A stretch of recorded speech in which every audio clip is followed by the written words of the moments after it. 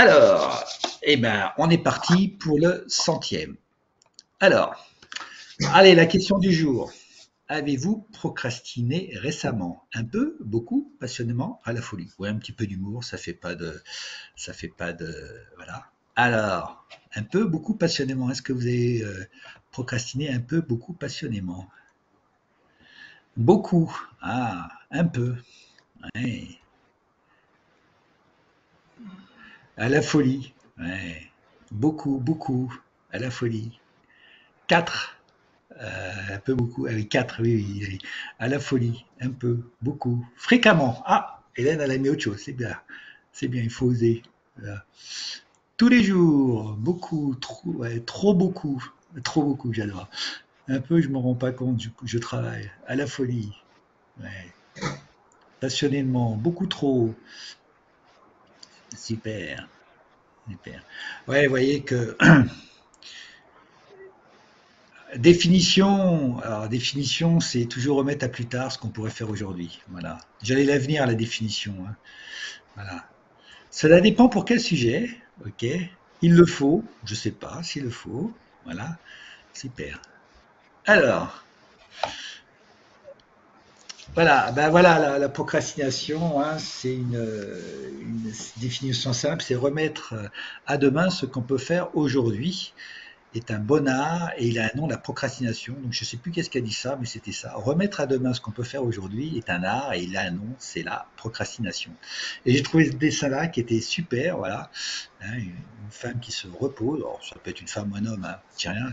Aujourd'hui j'ai rien à faire et demain ben, j'ai tous les autres. Et vous allez voir, à la fin, j'ai trouvé aussi une citation qui est pas mal aussi, que j'ai adoré. Il y en avait plein sur la procrastination, j'ai découvert ça, mais il a fait que j'en sélectionne une et j'en ai sélectionné une. Voilà. Alors, moi aussi, hein, je ne vous le cache pas, hein, surtout dans le début de mon, quand j'ai fait mon entreprise, euh, il y avait beaucoup de procrastination, mais pour une raison, voilà, et que je vais aussi euh, vous parler ce soir. Alors, donc la procrastination ou l'art de remettre toujours à demain, souvent c'est qu'il y a quelque chose qui paralyse. Voilà, on a envie de faire quelque chose, mais il y a quelque chose qui paralyse, qui bloque, et on n'arrive pas à se mettre dans l'action. Il, y a, il y a un micro qui est ouvert, je ne sais pas, il y a un petit bruit de fond. Merci. Voilà. Et euh, merci. Et euh, il y a une chose, c'est de se dire ben, combien ça coûte tout ça? Parce que quand on fait rien ou quand on remet un plus tard, euh, ben ça coûte. C'est pas pareil que si on fait la sieste ou qu'on se repose. Hein. Ça, c'est pas, procrastiner.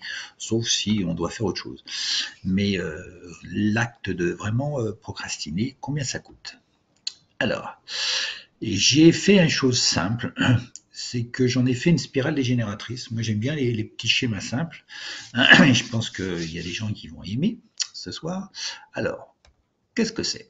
J'en ai fait un processus. C'est que quand on est en, quand on procrastine, on est ce qu'on appelle en crash. C'est-à-dire qu'on est en analyse de A comme analyse exemple où on est en contracté, où on n'est pas connecté au projet, où on a quelque chose, voilà. Il y a quelque chose qui, Et ce qui se passe, c'est qu'il y a du stress. Et ce stress-là, il est énergivore, c'est-à-dire qu'il vous bouffe de l'énergie. Donc, quand on procrastine, à un moment donné, euh, bah, parce qu'on en crash, et ben mine de rien, on, va puiser dans son énergie pour combattre justement ben, cette résistance quelque part, hein, pour combattre cette résistance. Qu'est-ce qui se passe? J'ai mis qu'il y a une décision girouette. C'est tout bien, on veut faire, on veut pas faire, on va faire autre chose. Enfin, en fin de compte, on tourne autour du pot. Voilà. Souvent, on est aussi dans des dilemmes paralysants c'est qu'on voudrait faire, mais on ne sait pas trop si c'est le chemin à droite ou à gauche qu'il faut prendre, donc euh, c'est aussi pour ça qu'on n'y va pas. quoi. Donc euh, on est bloqué et on n'y arrive pas. Ça implique bien sûr des retards, des reports, beaucoup de doutes, hein, on doute de nous-mêmes, hein, et puis on accumule un peu tout ça. Donc ça, ça, agit déjà, euh, déjà c'est pour ça qu'il y a du mental, hein. il y a beaucoup de mental. Bien sûr, plus on tarde, plus euh, on est en insécurité, il y a beaucoup d'incertitudes, on a beaucoup de peur aussi. Hein. Je sais qu'il y a des gens qui disent quand je suis procrastine, c'est que j'ai peur de quelque chose, ou on a peur peut-être de pas faire, on a peur de ou de mal faire, ou on a peur de euh, pas être à la hauteur, ou on a peur de pas être légitime, on a et on a aussi euh, peut-être des croyances limitantes. Ouais, je suis pas capable de ça, donc c'est pour ça que j'y vais pas. Donc on a, on a des croyances qui peuvent être là, ou le syndrome de l'imposteur. Alors j'ai pas encore fait de, de webinaire là-dessus, mais pourquoi pas de faire quelque chose sur le syndrome de l'imposteur. C'est-à-dire, je fais un truc, mais en fin de compte, euh, je suis pas légitime pour faire ça. Voilà. Il y a quelque part qui, ce qui se passe, c'est qu'on a un manque de confiance en nous, donc on est méfiant, méfiant peut-être de la tâche à accomplir, on est méfiant, on n'a pas de confiance en soi, on n'est pas forcément dans notre zone de confort, on est même dans l'inconfort, euh, dans, l'inconfort, voilà. Et souvent, ben, on est, euh, on a un sentiment de culpabilité parce qu'on fait rien. Donc il y a la culpabilité qui arrive. Quand on est dans la procrastination aussi, il y a ce côté, est-ce que c'est utile ce que je fais? Donc, euh, on tourne autour parce qu'on se dit, euh, est-ce que c'est vraiment utile ce que je fais? Voilà. Donc, ça peut, ça peut, être euh, une des causes, ça peut être là. La cause, ça peut être parce qu'on ne sait pas prendre de décision, parce qu'il n'y a pas de sens, parce qu'on n'a pas de confiance en soi, parce qu'on n'est pas légitime, ou parce qu'il n'y a pas un cadre sécure qui nous permet Euh, quand euh, notamment les, les niveaux d'exigence sont, sont, très très très élevés, notamment dans les organisations, mais comme on a peur justement ben, de se louper, ben, on a tendance à reporter, reporter, reporter, essayer d'avoir le maximum de choses pour essayer de faire les choses à coup sûr, mais le temps passe et on n'a pas forcément la réponse à tout ça. Voilà. Qui se passe aussi souvent quand euh, on procrastine, c'est qu'on se ment à soi-même. On a un manque d'authenticité avec nous et on est aussi dans le déni. On n'est pas forcément conscient de ça. Hein. Hein.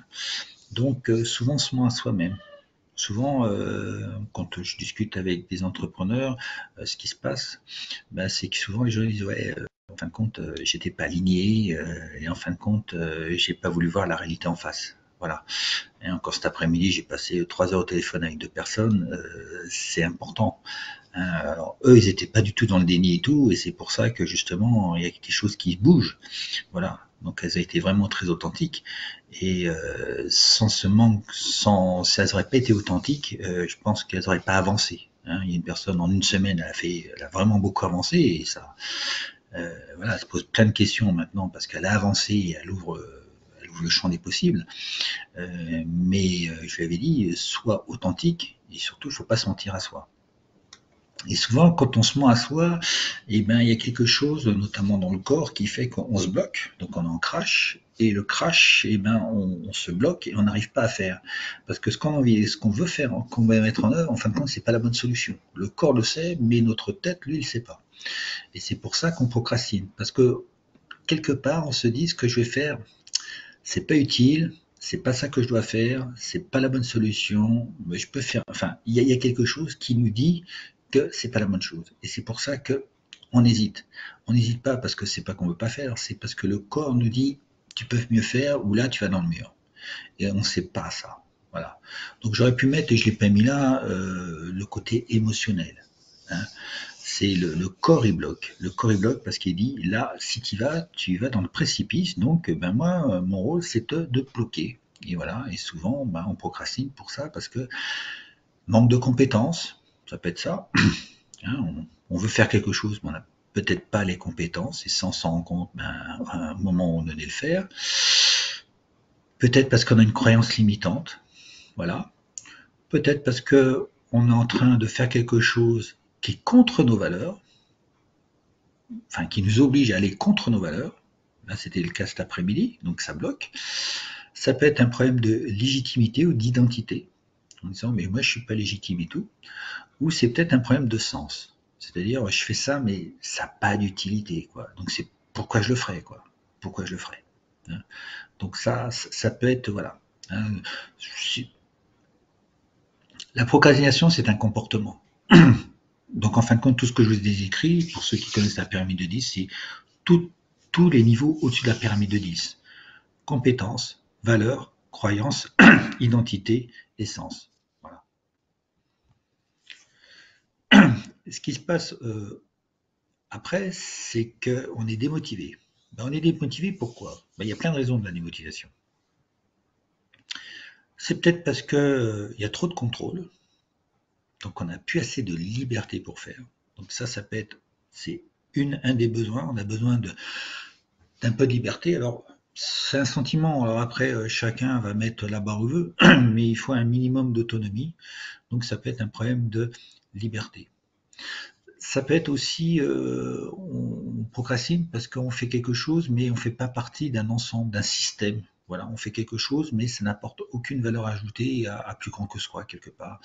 Et donc, euh, on n'appartient pas à un système, à une famille, à une équipe, à une organisation, une association, etc. etc. Donc ça peut être ça aussi. On peut être euh, démotivé parce qu'on fait un truc, mais on a tendance, si on fait ça, on a, le sentiment de régresser plutôt que progresser. Voilà. Donc, euh, dans la vie, tout organisme vivant, il croit ou il régresse. Donc, quand on régresse, on meurt. Et quand on régresse, c'est là qu'on va vers les maladies et tout ça. Donc si on ne si on va pas vers la croissance, à un moment donné, euh, on n'est pas forcément motivé à mourir. Donc c'est peut-être pour ça aussi qu'on est bloqué. Euh, l'utilité, donc ça j'en ai parlé ici, euh, l'utilité est important. Si on fait quelque chose qui n'est pas utile, moi alors là je lève la main, je peux vous dire que je mets beaucoup d'énergie en œuvre pour démontrer et ne pas faire. Hein. Donc ça, je suis, euh, je suis balèze là-dedans. Donc le sentiment d'utilité. Est-ce que c'est utile ce que je fais? Voilà. Le plaisir aussi. Le plaisir. Si on a, si on prend pas plaisir à faire quelque chose, waouh euh, Là, il va falloir faire, euh, va falloir mettre beaucoup d'efforts. Et quand on fait beaucoup d'efforts, eh ben on s'épuise. Voilà quand on a plaisir à faire quelque chose, en général, on ne procrastine pas. Hein. ça vient assez euh, naturellement.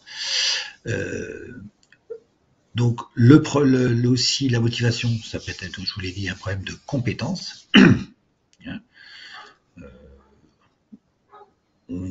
on, dit, tiens, je veux faire ça, et puis on se rend compte qu'en fin de compte, ben, il nous manque des choses. Et donc, euh, et donc on ne sait pas par quel commencer, on ne sait pas quelles compétences aussi, parce qu'on sait qu'on n'a pas les compétences, mais après, il faut les trouver les compétences. Donc souvent, on trouve les compétences, mais des fois, on ne sait pas quelles compétences il faut acquérir pour pouvoir faire peut-être quelque chose. Hein. et puis en plus, après, euh, ça impacte justement l'engagement. Hein. Donc quand on est démotivé, ça impacte l'engagement. Hein. J'ai aussi pris une autre grille que j'utilise pour autre chose, mais la motivation, l'impact, c'est le désengagement. Et quand on est désengagé, en fin de compte, on n'est pas focalisé sur le résultat, sur le travail. En fin de compte, le travail, on se dit, enfin, le résultat qu'on vit, on dit, mais en fin de compte, est-ce que ça vaut le coup de mettre toute cette énergie, tous ces efforts en œuvre pour avoir ce résultat-là? Là, en fin de compte, ça vaut pas le coup. Et donc, en fin de compte, qu'est-ce qu'on fait? Ben, On remet à plus tard, parce que ça vaut pas le coup. Hein. Donc, c'est aussi, euh, le... c'est aussi encore une croyance. Voilà. Et qu'est-ce qui se passe quand on arrive là? Eh ben, on alimente le crash.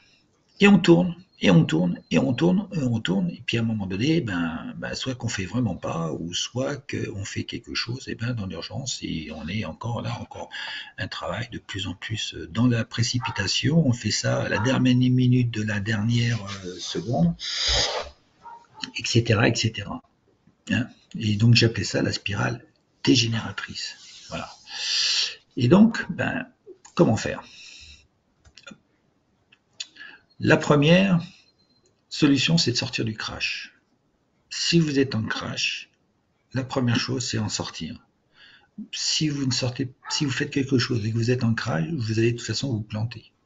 Le crash, c'est un niveau de stress élevé. Alors, c'est un acronyme. Hein, euh, j'ai un autre webinaire là-dessus.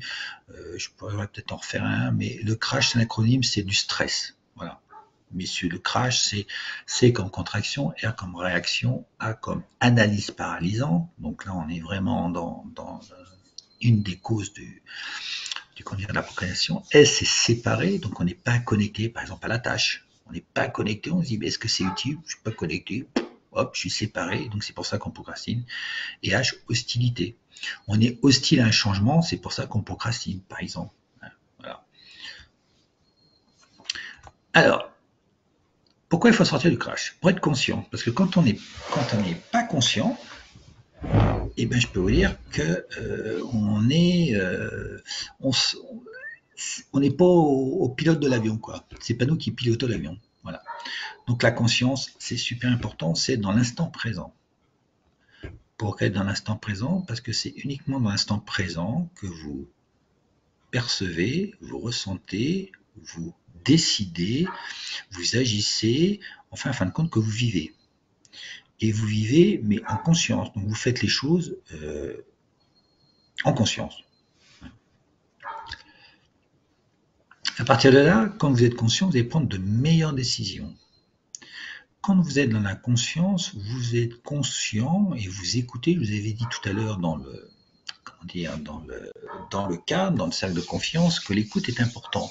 Et là, c'est super important. Parce que quand vous êtes conscient, vous allez pouvoir écouter autant les signaux forts, l'intuition, que les signaux faibles.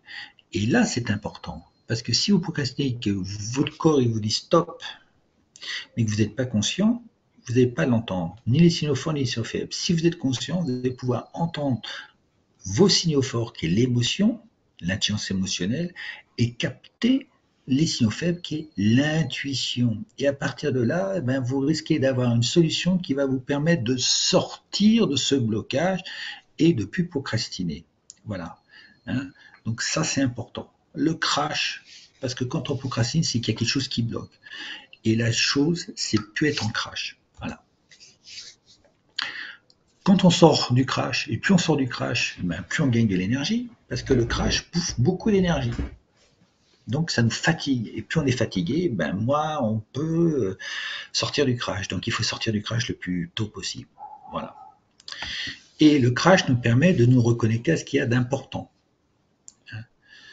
Le sens, l'utilité, et peut-être que euh, dire je le fais pas, je fais pas ce travail-là en conscience, mais je procrastine plus. Je dis, je décide de dire je ne fais pas ça pour telle raison. Et je tiens, et je tiens mon, mon ma décision. Ou je le fais pour telle raison.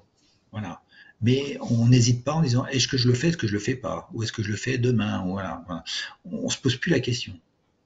On prend une décision qui a du sens et qui est important pour nous. C'est ça qui est important. Hein. Alors, c'est aussi de passer du mode réactif à proactif. Euh, Stéphane Covey, les sept habitudes des gens qui réussissent, ils disent une chose. Quand vous êtes procrastiné, en général, c'est, vous n'êtes vous êtes pas aux commandes de l'avion. Hein. Et en général, quand vous êtes réactif, c'est l'environnement qui décide ce que vous devez faire. Vous réagissez et tout ce que vous donne l'environnement, là, vous n'êtes pas bien. Et en fin de compte, c'est il y a quelque chose de l'environnement qui n'est pas clair. Et en plus, vous ne pouvez pas agir dessus. Donc le but quand, euh, quand on est dans la procrastination, c'est dire je reprends le contrôle de moi, Maintenant, c'est moi qui décide, donc je sors du crash et je décide de faire ou de pas faire. J'étends ma zone de contrôle, j'étends ma zone d'influence, je vais aller, non, j'étends ma zone d'influence pour augmenter ma zone de contrôle, et à partir de là, c'est moi qui décide. C'est ni une personne, ni une situation, ni un environnement, je reprends les choses. Et ça, c'est super important. Parce que la procrastination se, montre parce que vous faites rien, enfin que je fait rien, hein, je, me mets dedans. Hein. Quand on procrastine, c'est qu'on ne fait rien. Donc on n'est pas actif. On n'agit pas.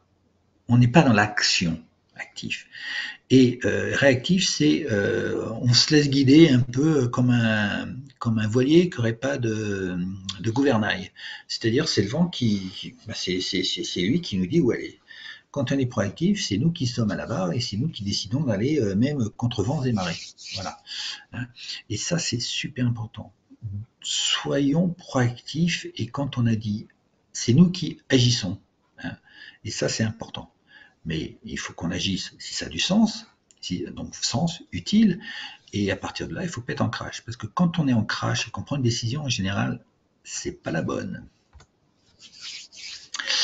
Et on le verra tout à l'heure, comparer, aussi euh, les coûts de non-possession. Je fais pas, ou je procrastine, ou je le fais au dernier moment.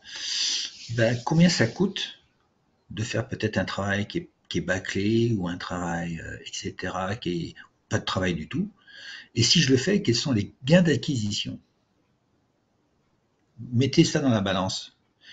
Et euh, le but, c'est euh, d'être toujours très objectif. Il ne faut pas que ça soit subjectif, il faut que ça soit objectif. Et après, vous prenez une décision. En toute conscience. C'est ça qui est important. Et pour ça, il faut être en ce qu'on appelle en état coach, il faut sortir du crash. Donc ça, c'est une première chose. La deuxième chose, c'est se reconnecter à son alignement. L'alignement, c'est pour, pour vraiment dire est-ce que ce que je vais faire a du sens? L'alignement, c'est le sens. Pourquoi c'est important et surtout maintenant? Euh, C'est parce que le sens est le facteur clé euh, des risques psychosociaux c'est-à-dire les burn-out, les dépressions, euh, voire même les suicides, tous ont un point commun, c'est l'inutilité, la perte de sens. Donc, ça, agit aussi sur la procrastination, mais ça peut agir sur bien d'autres choses. Si on procrastine beaucoup, c'est peut-être ce qu'on est en train de faire, en fin de compte, c'est pas aligné, ça n'a pas de sens. Voilà. Peut-être qu'on est dans un boulot euh, qui nous plaît pas, ou peut-être qu'on est dans un truc qui nous plaît pas, et on a tendance à procrastiner beaucoup. Eh ben, pour ça, il faut arrêter, pour arrêter de procrastiner, il faut se reprendre sur les fondamentaux et euh, retrouver le sens, c'est-à-dire qu'est-ce qui nous passionne et euh, qu'est-ce qu'on rêve. Et voilà. Et quand on a trouvé ça, eh ben, on aura trouvé bien plus que de la motivation, puisqu'on aura de l'inspiration et des passions, et qui nous permettront d'agir plus vite, sans effort, puisque c'est quelque chose qui va plus nous plaire. Et donc, c'est de nous reconnecter à ce qui est vraiment important. Hein. Le sens, c'est ça important, important pour nous et important pour les autres. C'est aussi l'équilibre, c'est aussi une intelligence collective, c'est équilibrer ce qui est important pour vous, important pour les autres, euh, c'est toujours cet équilibre entre l'intérieur et l'extérieur, soi et les autres. Voilà. Donc c'est se connecter, ce qui est important. Euh, on ne fait pas les choses que pour soi, on le fait aussi pour d'autres personnes, sa famille euh, ou peut-être un, un, domaine particulier, etc. Mais on le fait pour soi et pour quelque chose de plus grand que nous. Voilà. Et ça, c'est important. Parce que euh, quand on sait qu'on fait ça, mais que ça a vraiment du sens et que c'est important, euh, en, général, c'est plus de la procrastination parce que c'est du plaisir. Et puis, euh, voilà, c'est important, ça vibre. La troisième chose sur laquelle on va pouvoir agir, c'est ben, la motivation. Parce que quand on procrastine, en général, la motivation, elle est au plus bas. Hein. Donc, déjà se reconnecter à ses passions, c'est niveau haut. Après, tout ce qui nous inspire, c'est le deuxième niveau. Et le troisième niveau, il y a la motivation. Et la motivation, là, il y a, c'est un peu euh, les racines de l'arbre. Il, y a plein de choses qui peuvent, euh, qui peuvent alimenter la motivation. Hein. Alors, votre motivation, moi, je peux pas vous motiver. Hein. je peux vous faire des choses pour vous mettre des environnements qui peuvent motiver, mais il n'y a que vous qui peuvent vous motiver. Hein, la motivation, c'est un peu comme une porte qui s'ouvre de l'intérieur. Il n'y a que vous qui pouvez l'ouvrir. Alors, pour trouver plus de raisons à agir, ouais, si vous trouvez du sens, si vous avez un peu plus de liberté ou d'autonomie pour faire quelque chose, si vous avez les compétences, euh, si vous avez le sentiment de progresser, si vous faites plaisir à faire les choses, si euh, vous sentez engagé dans une action, et ben à un moment donné, et ben tout ça, ça va mettre de l'eau dans le bocal de la motivation, et à un moment donné, il y aura plus, la motivation va peser beaucoup plus que la démotivation, et donc c'est à ce moment-là que ben vous arrêterez de procrastiner. C'est à surveiller comme le lait sur le feu, la motivation, parce qu'il suffit de une petite chose et la motivation, elle risque de baisser autant la passion et l'inspiration, c'est quelque chose qui est, là, qui est, bien ancré, autant la motivation, il faut faire très attention parce que il suffit que quelque chose et puis c'est comme un tuyau, il peut se percer très vite ou un ballon, il peut se percer très vite. Donc la motivation, fait attention parce que c'est quelque chose qui est qu'il faut toujours alimenter, alimenter, alimenter, alimenter. Hein. C'est comme une plante, si vous la euh, euh, si vous la l'arrosez pas régulièrement, elle va mourir. Et ben la motivation, c'est un peu ça. Il faut toujours qu'elle soit euh, alimentée par quelque chose. Hein. Et plus vous aurez de raisons euh, internes de vous motiver, ben plus vous aurez de raisons d'agir, et à partir de là, euh, moins, vous aurez, moins vous procrastinez. Hein. C'est un peu le, le, serpent qui se mange la queue. Voilà. Et donc, ça sera intéressant euh, d'augmenter tous les niveaux. Hein. Imaginez que vous avez comme les, gens qui ont des tables de contrôle dans le son, là, ben vous allez augmenter un petit peu euh, tout ça, hein, hein tous les niveaux pour essayer de les monter le plus, le plus en avant. Et plus vous serez motivé, plus vous allez agir, plus vous allez agir vite, et plus en général vous agirez avant. Hein. Il y a des gens qui disent ouais moi j'aime bien euh, euh, faire ça au dernier moment parce que ça me booste. Ouais mais euh, peut-être qu'il y a une autre raison derrière. Hein. C'est peut-être qu'il y a autre chose à travailler. Alors la prise de décision pompier. Appelé ça 10 de précision pompier, c'est que vous savez les pompiers hein, quand il y a le feu, il il faut pas qu'ils procrastinent. Donc qu'est-ce qu'ils font ils savent ce qu'ils font faire, ils savent que c'est important et tout. Les gars, ils partent. Hein.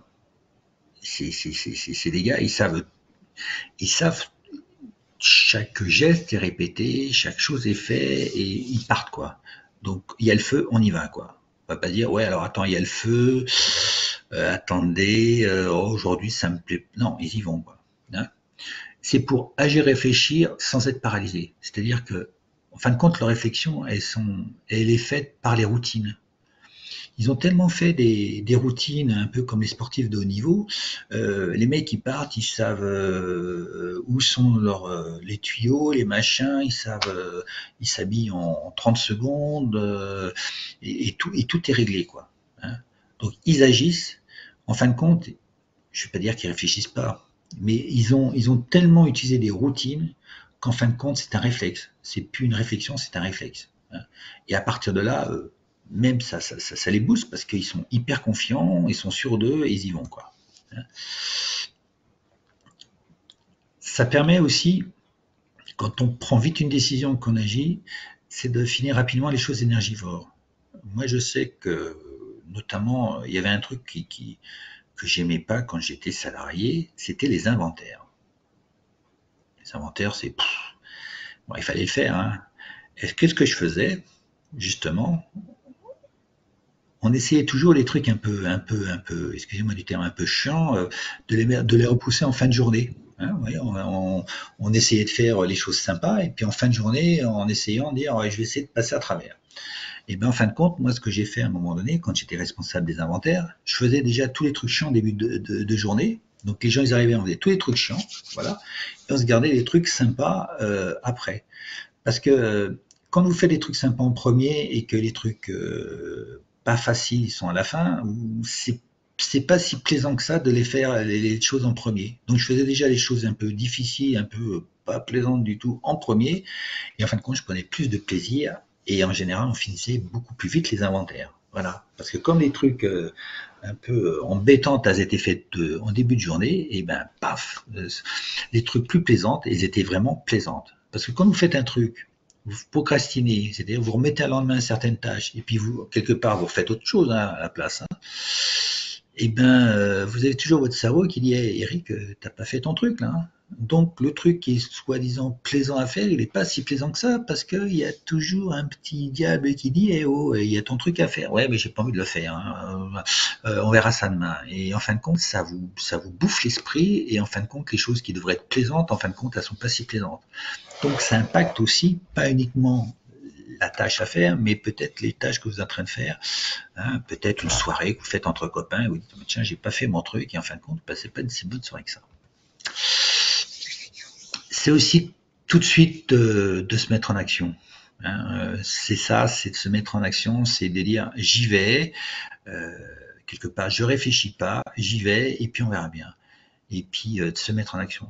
Souvent, il y a, quelqu'un qui m'a dit, hein, quand tu te mets dans l'action, c'est déjà 50% du chemin qui est fait. Le plus dur, c'est de se mettre en action. Hein. Mais une fois que vous êtes mis dans l'action, c'est déjà 50% du chemin. Parce que tant que vous n'êtes pas mis en action, vous êtes à zéro. Et dès que vous êtes mis en action, eh ben, vous avez déjà fait beaucoup de chemin. Hein. Donc dites-vous que quand vous mettez en action, vous avez déjà fait 50% du boulot. Après, il ne reste que 50%. Mais le plus dur, c'est les 50 premiers. Hein. C'est le premier pas, comme on dit. Hein. Et surtout, c'est euh, de, vraiment, quand on est une décision pompier comme ça, c'est dire, on est focalisé, voilà.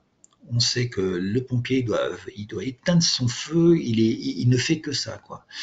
Euh, là, vous pouvez faire euh, des choses. Hein. Quand vous quand vous procrastinez, c'est de quand vous avez une tâche comme ça un peu embêtante, hein, pas justement avoir une excuse pour euh, faire autre chose, hein.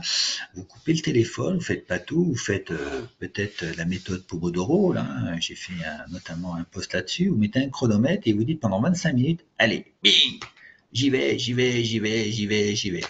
Et vous verrez que peut-être, ben, il faudra peut-être une heure pour faire la tâche, vous le faites deux fois et au bout d'une heure, vous faites, ça je l'ai fait.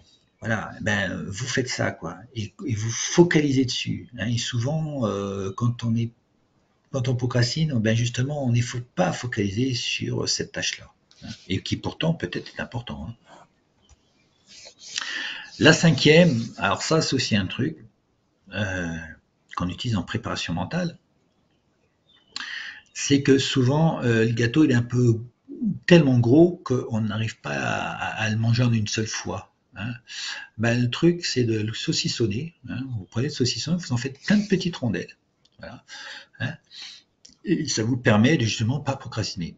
Alors par exemple pour ce webinaire-là, euh, bah, ça me fait plaisir de faire ces supports-là, mais euh, ben, j'ai commencé euh, pratiquement le lendemain de mon dernier webinaire, puis j'ai commencé à, mettre mes idées, à faire mes choses. Enfin, j'ai tout un processus comme ça, et ben je fais un petit peu, un petit peu tous les jours voilà, et qui me permet ben, d'éviter aussi les contretemps, parce que cet après-midi j'ai eu un contretemps, mon téléphone ne marchait plus, hein. donc euh, vous avez de la chance ce soir, j'ai réussi à, que mon téléphone remarche, euh, enfin j'avais au pire celui de ma femme, mais euh, là ça m'aurait mis dans un stress et heureusement que tout était fait, hein. mon support était fait, tout était prêt et tout, donc j'ai eu juste à me focaliser sur comment faire marcher mon téléphone. Voilà. Hein, et ça m'arrivait à 16 heures. Donc à 17 heures, le truc était réglé. Mais euh, Free m'avait dit que ma carte SIM était morte, donc il m'a envoyé une, c'est sympa. Euh, mais ça aurait pu euh, imaginer que si j'avais pas fait mon support, que ça m'arrive, j'aurais été dans un état de, dingue, quoi. Alors, quand vous avez un, grand objectif, des fois il est tellement gros qu'on se dit waouh, ben vous le saucissonnez et vous le saucissonnez en petites choses. Voilà. Et dès que vous faites une étape, vous dites Ah, j'ai fait une première étape. Super, bah tiens, pas la peine, j'ai fait ma première étape, je vais boire une bière. Et puis après, ben, vous refaites une deuxième étape. Alors vous ne pouvez pas à chaque fois des bières, parce que hein, c'est pas ce que je veux dire, mais c'est pour, c'est pour l'idée. Hein. Tiens, je vais faire un truc, ou je m'accorde une pause, ou tiens, euh, je peux me faire euh, un peu de, Facebook, parce que ça vous voir vos mails, ou téléphoner à un copain que vous aimez bien, etc. Mais saucissonner, saucissonner les choses, saucissonner les choses, et, et marquez-le surtout. Marquez, là, cet après-midi, je fais ça une fois que vous faites, appréciez le travail que vous avez fait. En disant, ben voilà, ah, mon niveau de batterie est faible. Ah, non, c'est bon, excusez-moi. Euh, et saucissonner les choses, ça c'est super important. Hein. Et surtout, apprécier le travail fait. Parce que souvent, ce qui se passe, c'est qu'on regarde toujours ce qui manque. Retournez-vous et regardez ce que vous avez fait et apprécier le travail, le, chemin parcouru. Et souvent, on est très exigeant avec nous-mêmes et euh, souvent, c'est le petit truc, peut-être des fois à la fin, qu'on n'arrive pas à finir euh, parce qu'on dit ah, voilà. Donc on remet à plus tard ça parce que comme on a tellement travaillé, on a tellement plus de plaisir à finir. Mais regardez et profitez, c'est un des facteurs de réussite dans la performance. Appréciez le travail fait et fêtez toutes les, tout le pas, tout, tout, le chemin parcouru chemin parcouru, c'est pas normal. C'est pas normal, c'est-à-dire, oh, je l'ai fait, c'est normal. Non, ce que vous avez fait, c'est bien. Donc fêtez-le et appréciez la propre valeur. Et s'il y a personne autour de vous qui dit c'est bien, ben, faites de l'autocongratulation et puis faites de, euh, l'autosuggestion, c'est très bien. Parce que ça, eh ben, vous allez augmenter le plaisir. Le plaisir est un des grands sentiments de la motivation. Hein. et c'est le plus important. Donc allez-y, allez-y, prenez plaisir à chaque fois à, fêter vos étapes. Si votre processus il fait euh, cinq étapes, eh bien vous aurez cinq fois où vous ferez plaisir plutôt que attendre la fin du truc pour, euh, apprécier. Peut-être que vous apprécierez pas parce que vous direz ah bah tiens je me suis débarrassé. Voilà, c'est ça qui est important. Et surtout euh, pour diminuer cet effort. Plus vous allez faire des petites choses, moins vous allez sentir que vous avez fait d'efforts. Et peut-être que dans toutes ces tâches-là, il y a peut-être des choses qui sont peut-être pas plaisantes dans les cinq tâches, mais peut-être qu'il y a deux, trois tâches ben, qui sont pas euh, si inconfortables que ça. Donc, euh, en fin de compte, vous allez euh, essayer de mettre plus de plaisir et en fin de compte de voir que, ben, tiens, si je fais cette tâche-là, l'autre, sera peut-être plus sympa à faire et ça va vous vous, vous, inspirer justement à aller un petit peu plus loin et un petit peu plus vite. Donc, saucissonnez ça voyez à chaque fois là où il y a du plaisir. Essayez de chercher du plaisir parce que quand il y a du plaisir, ben c'est facile et on a moins d'efforts à faire et en général on le fait beaucoup plus. Et on le fait beaucoup mieux. On fait plus vite et mieux. Et surtout, euh, ben, quand vous faites, vous allez euh, enlever, comme vous allez faire les choses plus vite, vous allez enlever les sentiments de frustration et de culpabilité du travail non réalisé. Euh, parce que souvent, ben, on, est procrastine, on le fait au dernier moment, on le fait mal, et puis à un moment donné, on dit ah culpabilité elle revient, on est frustré parce qu'on aurait dit tiens si j'avais su ah, j'aurais dû m'écouter, j'aurais dû faire ça il y, a, une semaine je l'ai pas fait et tout ça et en fin de compte eh ben c'est notre cerveau et on est de plus en plus en crash. Donc le fait de faire des micro-objectifs et de les faire un petit peu tous les jours, surtout sur une chose qui est eh ben je peux vous dire que vous avancez vite, très très vite. L'intention la force de l'intention. Une chose très très importante, l'intention c'est quoi? L'intention, c'est là où vous allez mettre votre attention et c'est là où vous allez mettre votre énergie. Donc vous allez appliquer sur votre mental. Et l'intention, notez bien ceci, écrivez-la. Quand vous écrivez quelque chose, quand vous écrivez quelque chose et en plus que vous allez le dire à d'autres personnes, vous écrivez que votre intention aujourd'hui, c'est de faire euh, cette tâche, euh, cette tâche, une tâche, peu importe. Et qu'en plus, vous le dites à deux, trois personnes, vous avez ce qu'on appelle la pression sociale. Et vous êtes engagé vis-à-vis d'autres. Et vous ne risquez pas de faire pour vous, peut-être, mais vous risquez de le faire pour les autres parce que vous êtes engagé devant une personne. La pression sociale. Quand vous avez quelque chose que vous n'avez pas à faire, criez-le haut et fort en disant je vais le faire et comme ça vous êtes, ben, vous pouvez plus faire, vous pouvez reculer. L'intention aussi, donc vous l'écrivez, vous la visualisez, vous pouvez faire des dessins, donc vous pouvez l'écrire, vous pouvez la dessiner, surtout vous pouvez la ressentir. Mais pas euh, comme euh, je souhaiterais que ça soit ça. Vous visualisez les choses comme si elles étaient déjà là. C'est comme si le travail, il était déjà fait. Et qu'est-ce que ça vous fait visuellement? Qu'est-ce que ça vous fait émotionnellement? Qu'est-ce que ça vous fait corporellement? Et à partir de là, vous allez euh, mettre en œuvre votre mental, mais tout votre, votre être, pour justement vous mettre en action. C'est tout simple, mais c'est très puissant par contre. C'est hyper puissant. La force de l'intention, ça permet aussi de rester focus. Euh, focalisé sur justement l'objectif à atteindre ou la tâche à réaliser. Et quand on écrit une intention, par exemple le matin, hein, alors vous pouvez écrire même deux, trois intentions.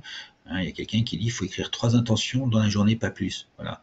Ben, ça vous évite de vous disperser parce que vous les avez écrits et vous savez dire voilà, moi je dois faire ça. Vous focalisez sur ça. Ok, c'est fait. Aujourd'hui, je fais ma première tâche. Demain, je ferai ma deuxième petite étape et tout.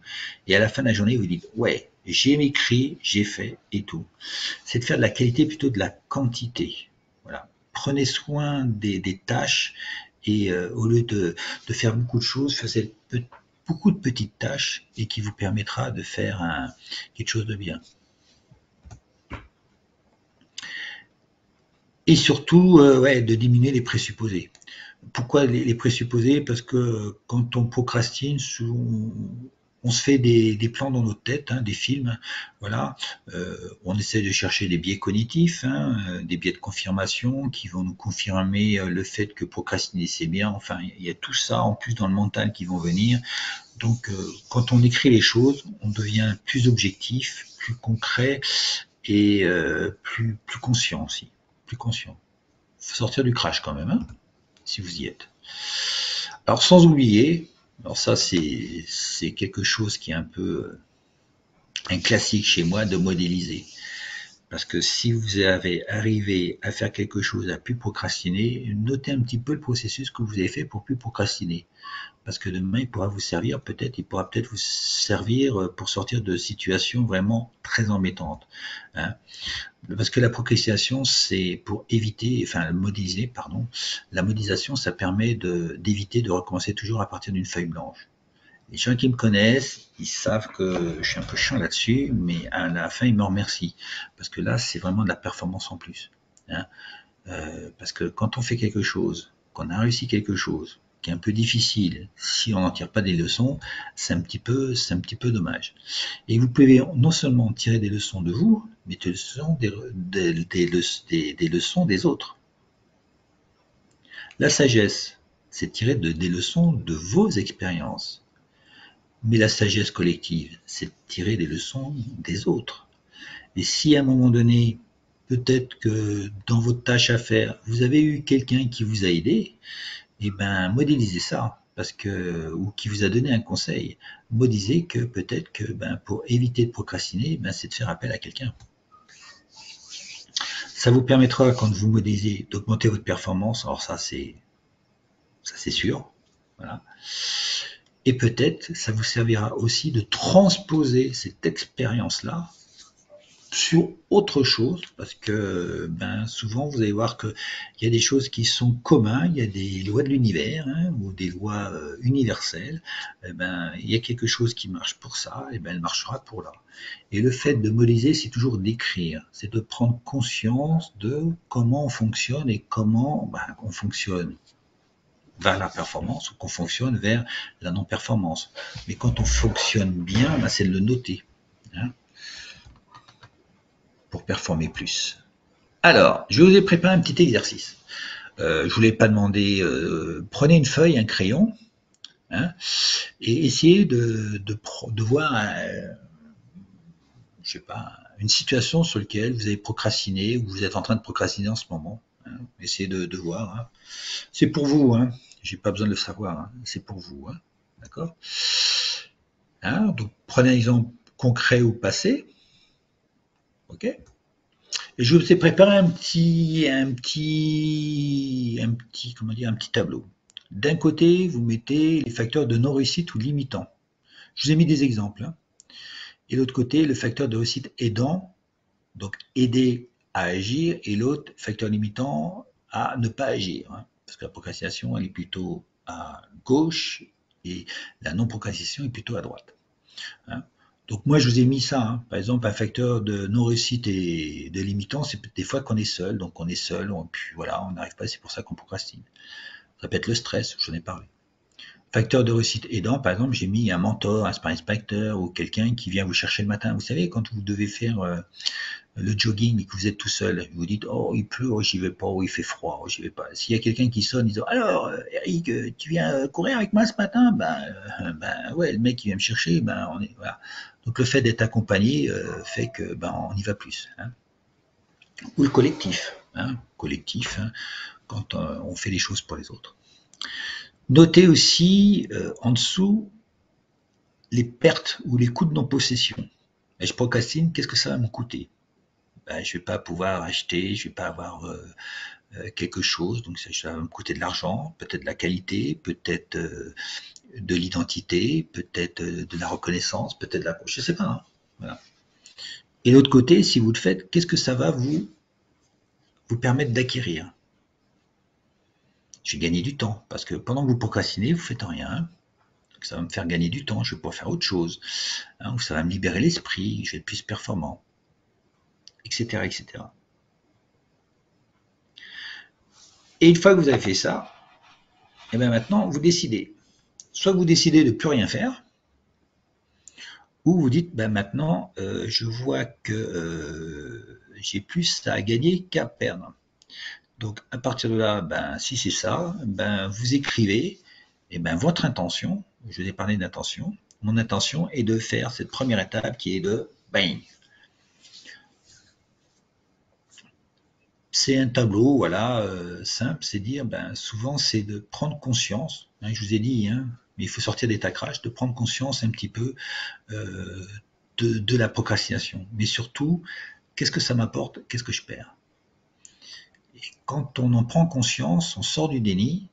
Hein, je dit le déni tout à l'heure.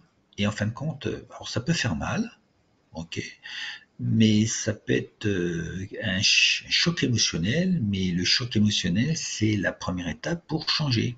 Voilà, donc c'est important de le faire. Voilà.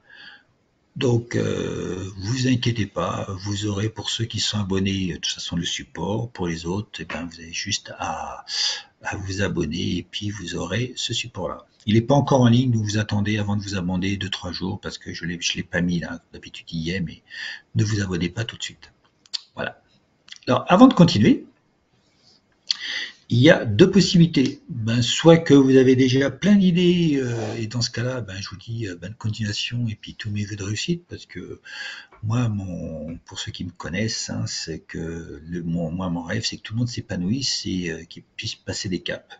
Donc j'espère que ben, j'ai vous donner quelques petites pistes justement pour arrêter de procrastiner, parce que souvent, vous savez, hein, je, dis, je le dis, hein, il faut pas aller chercher loin. Souvent, c'est une petite chose. Et souvent, on va chercher très loin. Et souvent, ben, sur une difficulté, on l'a en coaching, on l'a en pas mal.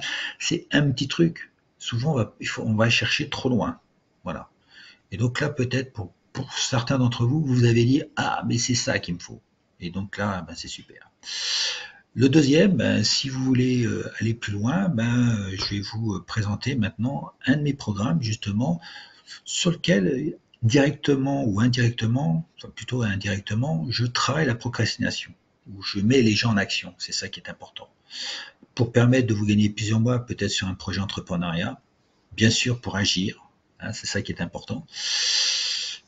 D'avoir un soutien, hein, je vous ai dit que souvent, euh, moi dans ma grille, euh, souvent on procrastine parce qu'on est tout seul, et là ça permet justement d'avoir du soutien et surtout d'avoir des réponses rapides. Parce que souvent, ben, on est bloqué, on ne fait rien, donc on procrastine parce qu'il nous manque un petit truc.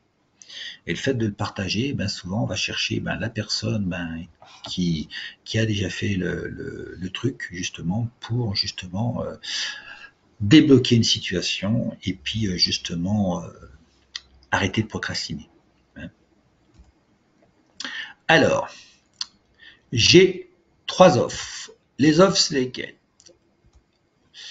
Alors, si vous en avez marre euh, et que vous êtes motivé à ne plus procrastiner, hein, c'est le moment d'agir. Hein. OK et vous avez pris euh, conscience qu'un changement est nécessaire. C'est normal. Quand il y a une difficulté, c'est qu'il y a quelque chose à changer. Hein. On va voir les habitudes, les routines, on va voir, c'est ça.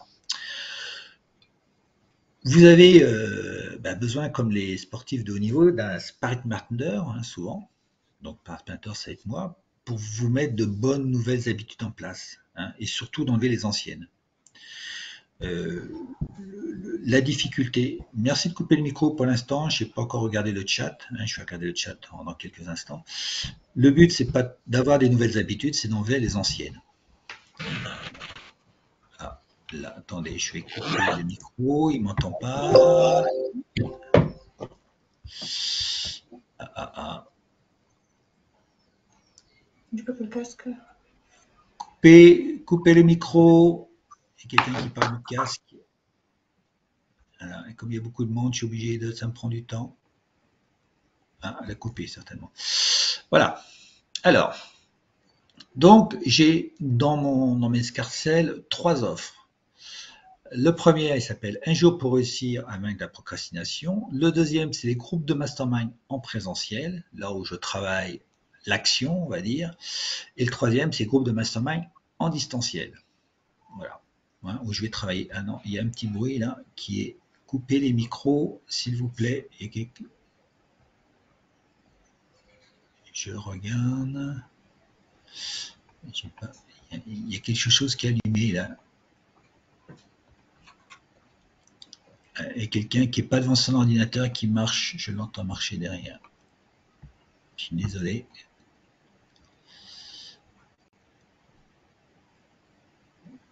Pas le micro. Bon. Alors,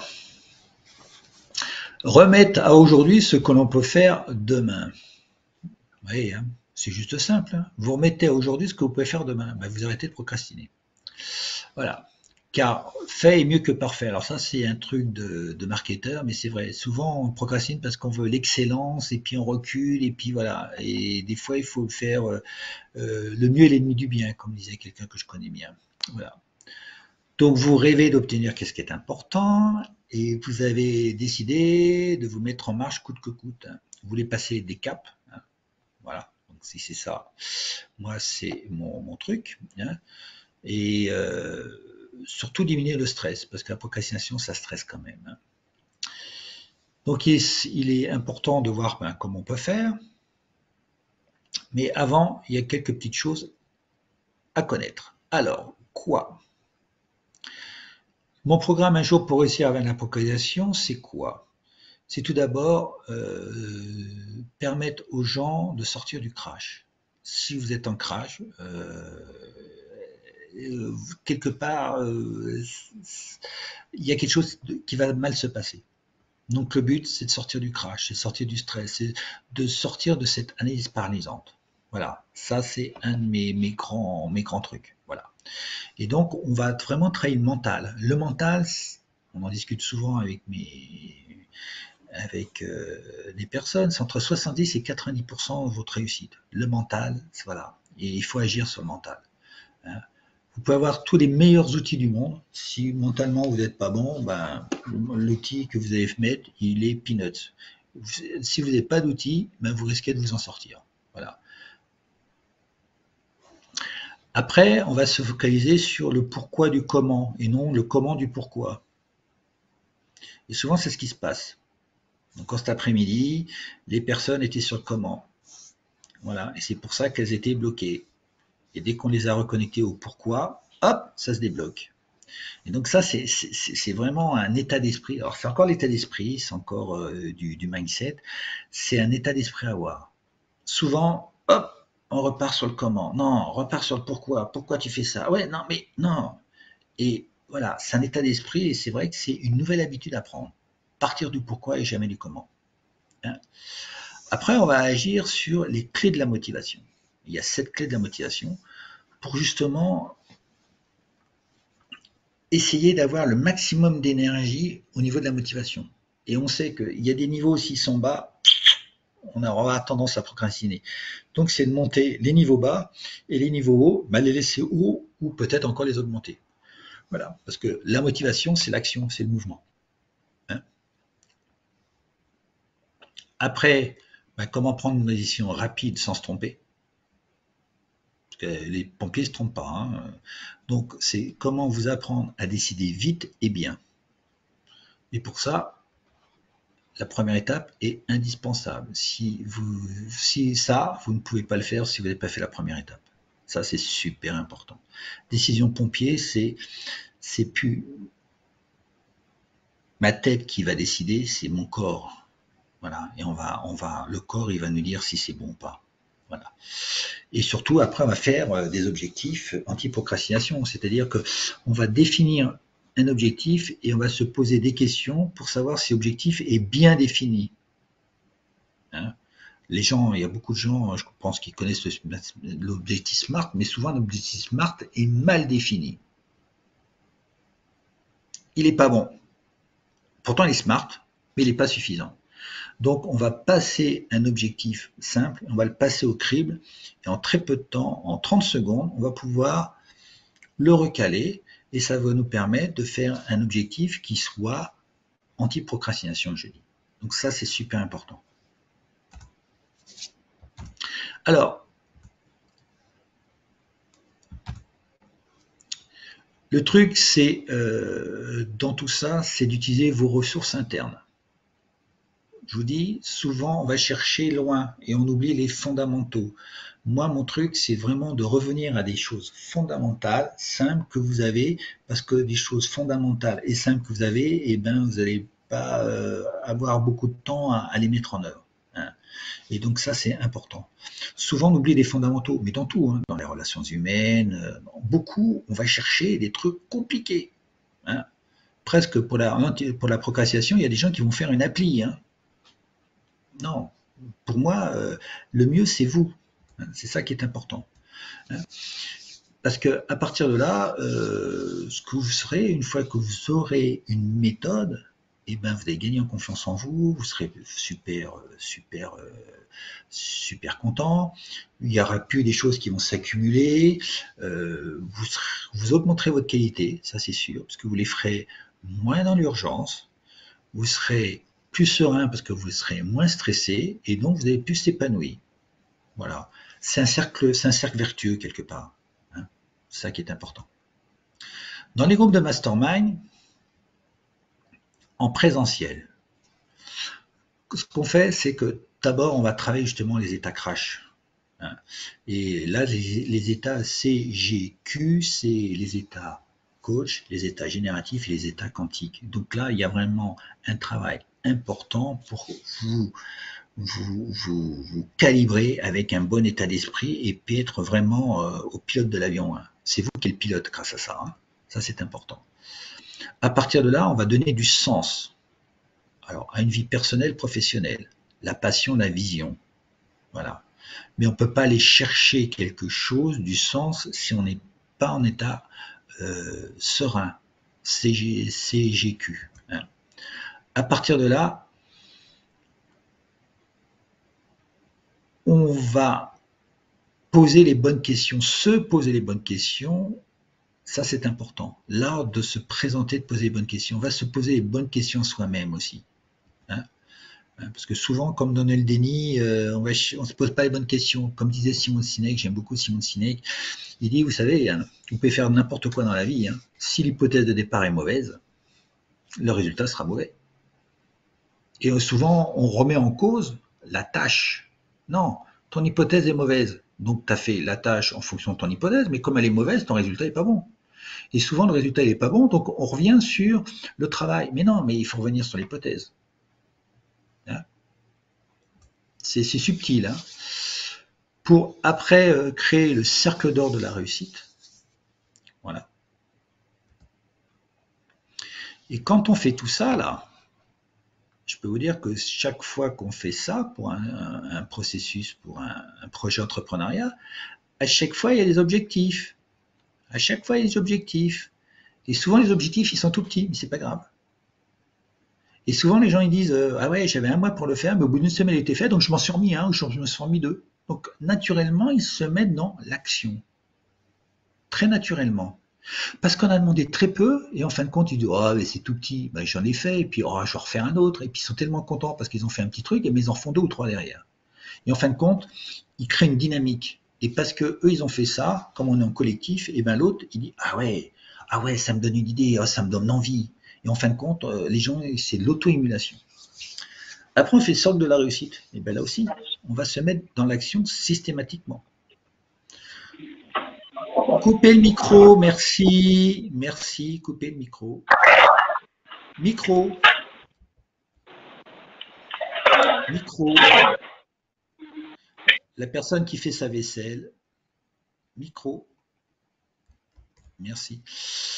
À partir de là, on va faire haut site. Et là, je peux vous dire que quand on fait les, les il y a plein de pépites. Et là, on va se mettre dans l'action, puisque notamment, la personne, comme il y a l'engagement, il y a une signature d'engagement. Quand on vient dans un groupe de mastermind, elle s'engage à justement euh, remettre tout ça au propre, sans interprétation, et à le donner aux autres. Donc, elle fait les choses pour elle, mais elle fait les choses pour les autres. Donc, elle est encore dans l'action. Voilà. Ce qui se passe aussi, justement, je vous en ai parlé tout à l'heure, quand on procrastine, souvent à un moment donné, il y a des blocages. Et les blocages, souvent, c'est des croyances limitantes. C'est comme ça, hein. j'en ai, vous en avez, on en a tous. Le truc, c'est de les, transformer, ces croyances. C'est de les transformer en croyances aidantes ou les débloquer. Voilà. Et euh, là, en fin de compte, euh, quand on débloque, eh ben, il y a des choses qui se passent. Donc on va amener de l'action un peu euh, autrement. Voilà. Et on va transformer la personne et la personne va faire des choses et elle peut être bloquée. La transformation de croyance limitante est vraiment très très important et très intéressante. À partir de là, eh ben, on va apprendre les gens notamment à faire des choses, mais on va faire les choses, donc on va faire concrètement les choses, donc ils sont encore dans l'action. C'est que fin de compte des exercices pratiques.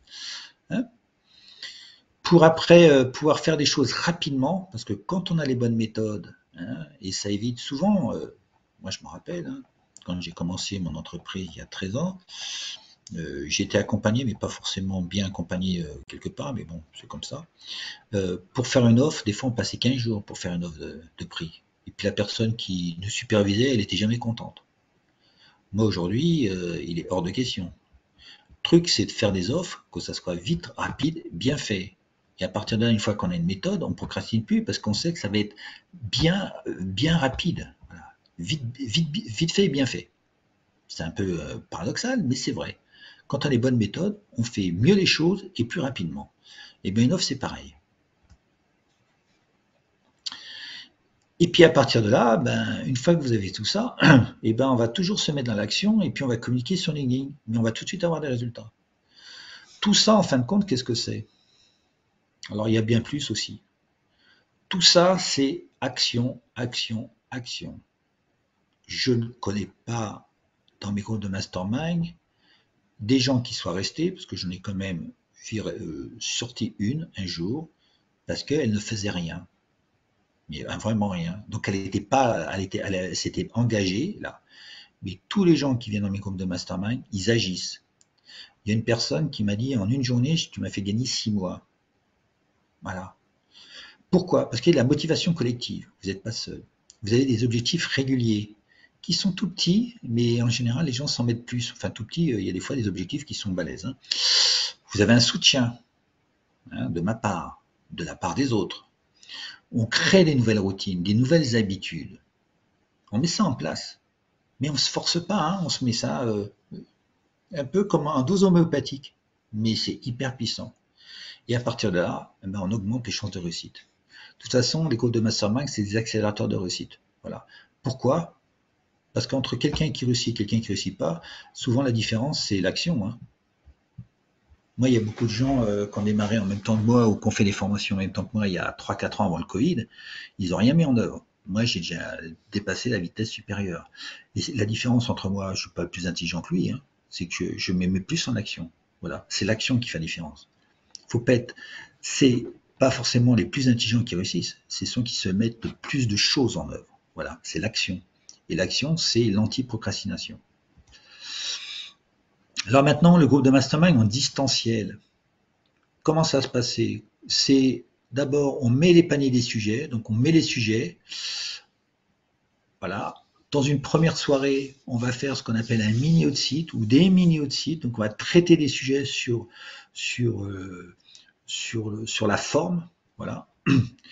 Après, moi, ça me permettre euh, d'avoir des idées et dans une deuxième séance, de traiter justement euh, des difficultés qu'il y a eu, qui sont sorties ou par mon expérience dans, la première séance. Voilà. Et à partir de là, bah, je fais les supports, euh, supports sur mesure, comme j'ai l'habitude de faire, que ce soit des audios, des vidéos ou des PDF. Donc, en fin de compte, il y a, il y a trois, aujourd'hui, trois, trois programmes où, en fin de compte, on est dans l'action surtout cela. Voilà, surtout cela. Donc en fin de compte, euh, on, va on va être anti, anti-procrastination. Voilà, c'est ça. Pour ceux qui ne me connaissent pas, euh, mon service plus, voilà, c'est que je soutiens au-delà de cette journée. Hein. Cet après-midi, j'ai passé trois heures avec des personnes, elles ont fini, elles m'ont payé tout, euh, et elles me téléphonent, et j'ai passé une heure et demie avec une, ou deux fois une heure et demie avec deux personnes.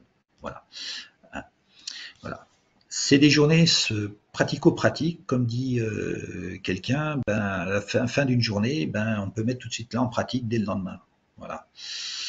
Les supports d'exercice sont réutilisables pour votre activité. Je sais qu'il y a des gens qui les réutilisent et de toute façon, je leur dis, vous avez bien fait. Hein, hein. Donc ça, c'est important. Il n'y a pas de copyright. J'ai fait une formation il n'y a pas longtemps. On m'a dit interdit d'utiliser. Ah bon, d'accord, ok. Voilà, les séances sont enregistrées, donc euh, il y a des audios, il y a des vidéos, hein, notamment en distanciel. Il y a plusieurs formats aussi. Et surtout, je rajoute toujours des plus. C'est des forfaits, moi. C'est pas des choses qui sont à rajouter. Il y a beaucoup de choses qui sont en plus et c'est toujours euh, offert. Voilà. Parce que mon but, c'est que vous vous épanouissiez. Et il faut un petit peu de temps pour mettre tout ça en œuvre. Hein. Moi, je le manipule facilement, mais je sais que j'ai mis du temps à, mettre tout ça en œuvre. Donc je sais que pour les autres, eh ben, c'est aussi, il faut un peu de temps. Donc tout ça pour faire passer un cap, que vous vous épanouissiez, mais surtout en toute sérénité, vous soyez serein. Vous avez pour ceux les supports, vous avez, ben, mes, témoignages, hein. donc il y a Eric et Bernard qui sont là ce soir, je leur remercie, mais il y a aussi Jean-Luc, Virginie, Irène et Olivier, et j'en ai un autre qui va arriver, mais il va falloir 15 jours avant que je le monte, parce que je vous prépare aussi une nouvelle formation euh, offerte euh, que je vais vous parler là dans quelques instants. Alors, les groupes de mastermind entrepreneuriat en distanciel, c'est deux rendez-vous euh, par mois. Voilà. C'est deuxième et quatrième lundi de chaque mois. Donc voilà, 9 et 23 mai, ils sont programmés. Un rendez-vous sur le fond, un sur la forme, je vous l'ai dit. Voilà. Le mastermind en présentiel, c'est à Villeneuve-Loubet dans le 06. C'est 6 présentiels par mois, 6 téléconférences, 54 heures minimum, c'est du lourd. C'est un vraiment programme complet. Hein. Quand je dis complet, il est complet, de toute façon, je rajoute toujours. Voilà. Le premier, c'est 198 euros par mois TTC, abonnement de 4 heures sans engagement. Donc, c'est le soir, c'est deux fois deux heures. Voilà. Donc, c'est du collectif. Hein. Et pour l'autre, c'est 1908 euros TTC. Euh, alors, il y a le, plus satisfait ou remboursé après la première journée. Si vous n'êtes pas content la première journée, ben vous me le dites et je vous rembourse. Voilà, comme ça, vous n'avez pas à prendre de risques. Pour le un jour pour réussir, mercredi 1er juin et 13 juin, euh, ben, je vais faire une, session pour ceux qui sont intéressés. 9h, 12h30, 14h, 17h. Format mix présentiel et distanciel. 5 places en présentiel, 10 places en distanciel. J'aurais du distanciel pour vraiment, pour vraiment avoir de la qualité. L'investissement, 396 euros la journée TTC, tout compris, et bien sûr le supplément, si derrière vous avez des questions après cette journée-là, je serai toujours là pour vous répondre. La citation du jour. Demain est souvent le jour le plus chargé de la semaine. J'adore ça. J'adore ça. Et en fin de compte, c'est la procrastination. Et je reviens avec mon petit, mon petit dessin du matin et, je l'adore. Alors, avant de passer aux questions rapidement, la mine d'or des trésors gratuits pour les nouveaux. Vous avez une formation de cinq vidéos et bientôt la sixième, voilà, sur justement euh, l'art de, faire des préparations, l'art de faire, euh, enfin l'art de faire des beaux contenus. Voilà, sa sixième vidéo. On va utiliser justement euh, tout, tout, tout, tout, tout sur l'art de la communication. Il y a déjà 72 000 vues, j'ai 3000, 3000 abonnés sur YouTube. Voilà, donc ça c'est quelque chose qui m'a mis six semaines à faire et j'ai été formé pendant deux ans. Voilà, et je vous l'offre vraiment d'une manière euh, totalement euh, sans, sans intérêt. Voilà. Vous pouvez retrouver aussi, je vous ai expliqué euh, des petites choses euh, aujourd'hui sur LinkedIn, hein, comment changer d'habitude et s'y tenir. Tiens, euh, quelqu'un qui voulait les habitudes, les routines, et ben là il y a des idées à prendre, voilà, sur Stéphane Covey, je vous en ai parlé aussi. Comprendre la procrastination, bah tiens, il y a aussi aussi des petites choses. Donc c'est des petits, c'est des petits capsules, voilà, ça s'appelle des des carousels. Et vous avez des gifs aussi. Donc cette semaine, j'ai posté quatre fois, voilà, quatre fois cette semaine, donc vous en avez encore d'autres. Voilà. Vous avez aussi la playlist sur YouTube où je mets d'autres choses différemment, en plus c'est des vidéos, donc c'est autre chose. Voilà. Vous avez plus de 60 replays, peut-être 70 maintenant, hein, avec euh, le top du top, euh, le top 6, la pyramide de 10, la question puissante, aligner son projet, les outils d'intelligence collective, encore la pyramide de 10, et puis euh, Simon Sinek, Walt Disney et Robert Dis, quels sont les points communs. Voilà. Si vous avez des questions, si vous posez des questions, vous savez de toute façon mon téléphone, hein, voilà. Je suis un extraverti, j'ai mis comme téléphone, comment on voit un mail, voilà c'est posé et tout. Je suis aussi euh, co-auteur d'un groupe qui s'appelle, d'un livre qui s'appelle Les groupes de mastermind accélérateur de réussite et c'est tout ce que j'utilise dans mes accompagnements. Alors maintenant, on va voir les questions. Je me repasse sur mon autre, voilà, je prends le chat. Alors, soit vous ouvrez vos micros. Alors, je vais regarder. Faut surfer et prendre les bonnes vagues. Alors, attendez. Alors, je, remonte un petit peu. Hein. Allez-y, hein. allez-y, allez-y, allez-y. Euh,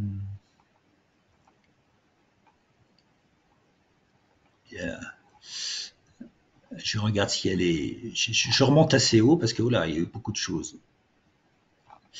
Alors, allez-y, posez les questions. Peut-être que vous l'avez déjà mis, mais allez-y, prenez.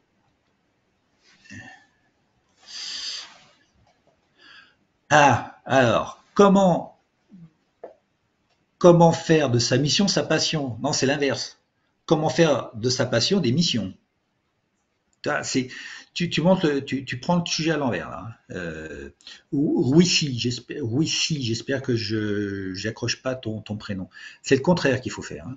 Ah ben, Raph, il a mis. Hein. Ok, c'est Raph Patricia. Je suis de Casablanca. Tu veux, là, j'ai. Euh, fait, je vous ai suivi euh, dans votre conversation et puis euh, j'ai, euh, on va dire, ça dépend de ce que vous disiez à, à, à cet instant. En fait, j'ai interagi avec vous voilà, faire de sa mission, voilà, comme, peut-être à l'inverse. Hein. Chacun, chacun peut prendre ça, mais d'abord, il faut savoir sa mission de vie. Hein. Faut, oui, tout à fait, tout et à fait. Et en, et, en, faire sa passion. Et en faire sa passion. Donc, je coupe mon micro. Ouais. Ok. Alors, je suis sur, euh, sur Patrice Alain, aussi du travail smart, source de catharsis, parfois surtout lorsqu'il prend du sens, autrement crash. Euh, ouais, le, smart, enfin, le smart, euh, ça peut être une méthode, mais souvent, il manque des choses parce que l'objectif, il peut être smart, mais il n'est pas forcément bien défini pour autant. Voilà. Et tu, tu peux te mettre en crash. Tu peux te mettre en crash. J'aurais une question. J'aurais une question, s'il vous plaît.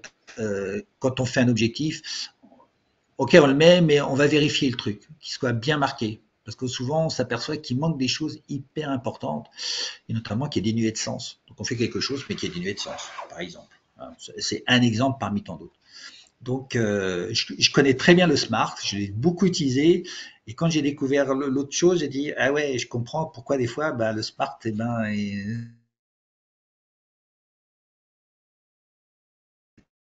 alors, euh, voilà, il y a eu beaucoup de choses. En plus, j'ai qu'un écran, c'est pour ça que j'ai pas vu. Hein. Alors, alors oui, pourquoi Alors oui, des fois quand vous procrastinez, alors l'intention c'est bien de la mettre, et puis des fois quand on commence quelque chose, euh, quand on est bloqué, des fois ben, il faut mieux attendre la nuit, parce que la nuit, euh, le cerveau il va enlever toutes les informations qui sont inutiles, et puis il va arranger les bonnes informations. Et des fois le lendemain, on va trouver des idées qu'on n'avait pas eues, euh, qu'on n'avait pas eu le, jour même. La veille. Ou la veille, voilà.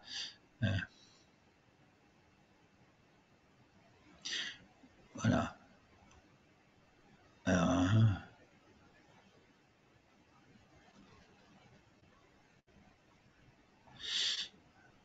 Ah oui, vous avez beaucoup. Oui, oui, vous avez beaucoup parlé entre vous, c'est super. Parce que voilà. Allez, vas-y, pose la question, ce sera plus simple. Parce que là, il y a beaucoup trop de choses. Enfin, c'est euh, super. Hein, vous n'avez pas arrêté, c'est génial. En fait, je me rends compte que, que moi, la procrastination, vraiment, je, je, je suis baigné dedans, baigné dans, dans, de la culpabilité, mais, euh, mais vraiment énorme. Mais du coup, c'est vrai que je sens qu'il y a ce que vous avez dit tout à l'heure par rapport au crash et au stress. Je pense que c'est vraiment ça qui me, limite énormément. C'est-à-dire, il y a la peur de l'échec, la peur de peut-être de réussir, mais, du coup, parfois, c'est très troublant parce que c'est comme si j'ai l'impression d'avoir les outils. On me met le problème devant moi, mais je ne sais pas comment euh, faire. C'est-à-dire, je, je, suis dans l'hyperconscience mais en revanche, euh, j'aime agir et même dans, dans le fait d'agir, bah, je procrastine parce que euh, j'ai peur. C'est très, très, très. Je peux intervenir euh, Moi, c'est Asaf, excusez-moi. Attends, je, je, je, réponds s'il te plaît. Ok, ok. Je réponds.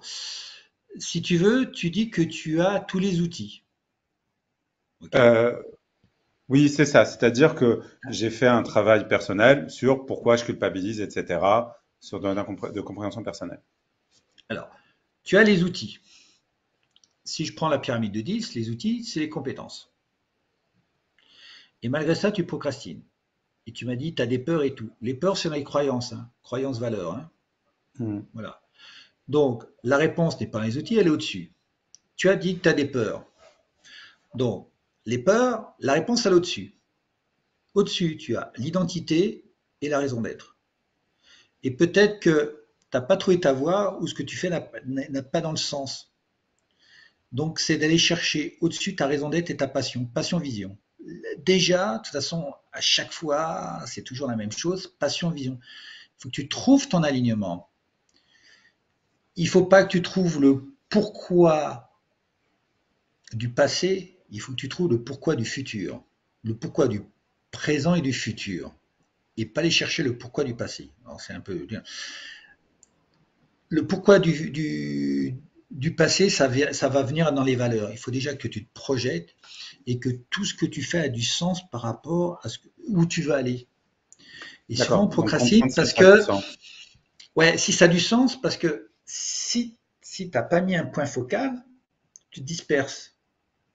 Ou tu dis, ouais, mais ça, je le fais, mais bon, est-ce que c'est utile, est-ce que ça a du sens? Parce qu'en fin de compte, il n'est pas connecté au futur, à ta vision. Et c'est ça qui est ah, important. pour le jour. Mm. Ouais, ouais. Quand tu fais quelque chose qui a du sens pour le futur, ça t'évite de te disperser, ça te permet de prendre les bonnes décisions, et tu prends des décisions qui ont du sens, puisque tu as un point mire, tu vois. Si je te dis, allez, euh, allez, tu prends le bateau, on y va. Tu vas me dire, ouais, mais Eric, on va où? Bah, on, y va. Il va me dire, attends, on va euh, en Corse, on va à, Casablanca ou on va à Barcelone? Dès que tu as un point, et eh bien là, c'est beaucoup plus simple. Et la vision, c'est ça c'est toujours dire est-ce que ça a du sens? Le sens est hyper important. Aujourd'hui, en plus, avec le Covid, la perte de sens, elle a boum Tant qu'on avait notre petit confort et tout, on n'avait pas trop de sens, ça allait. Mais aujourd'hui, avec le Covid, il y a une explosion de perte de sens. Les gens qui sont complètement paumés, euh, qui ont une perte de sens, qui se remettent en question et tout, c'est énorme. Et c'est normal. Absolument. En fait, c'est que dans ma tête, il y a la perte de sens parce que je pense juste à l'objectif de 2,5 millions d'euros. Mais il faut que je fasse 2,5 millions d'euros et je, et je peur. Donc, du coup, je me dis, bah, je ne suis pas capable et je pense qu'à ça. Et du coup, je n'arrive pas à me projeter dans l'avenir. Je suis vraiment au jour le jour. C'est-à-dire, quand je me réveille le matin, je subis ma journée. C'est-à-dire que j'arrive déjà pas forcément organisé. Et après, je pense juste à l'objectif et je me dis, oh, c'est trop grand, c'est trop haut. Et tous les matins, c'est pareil. Je, je subis euh, cette journée euh, comme ça. Quand on écrit les objectifs, s'il n'est pas connecté au sens, ça n'a pas de sens. Si tu veux, au-dessus, tu as la vision. En dessous, tu as tes missions. En dessous, tu as tes stratégies. Et en dessous, tu as tes objectifs. Mais si tu pars par en bas et que tu mets un objectif et que tu enlèves tout le reste,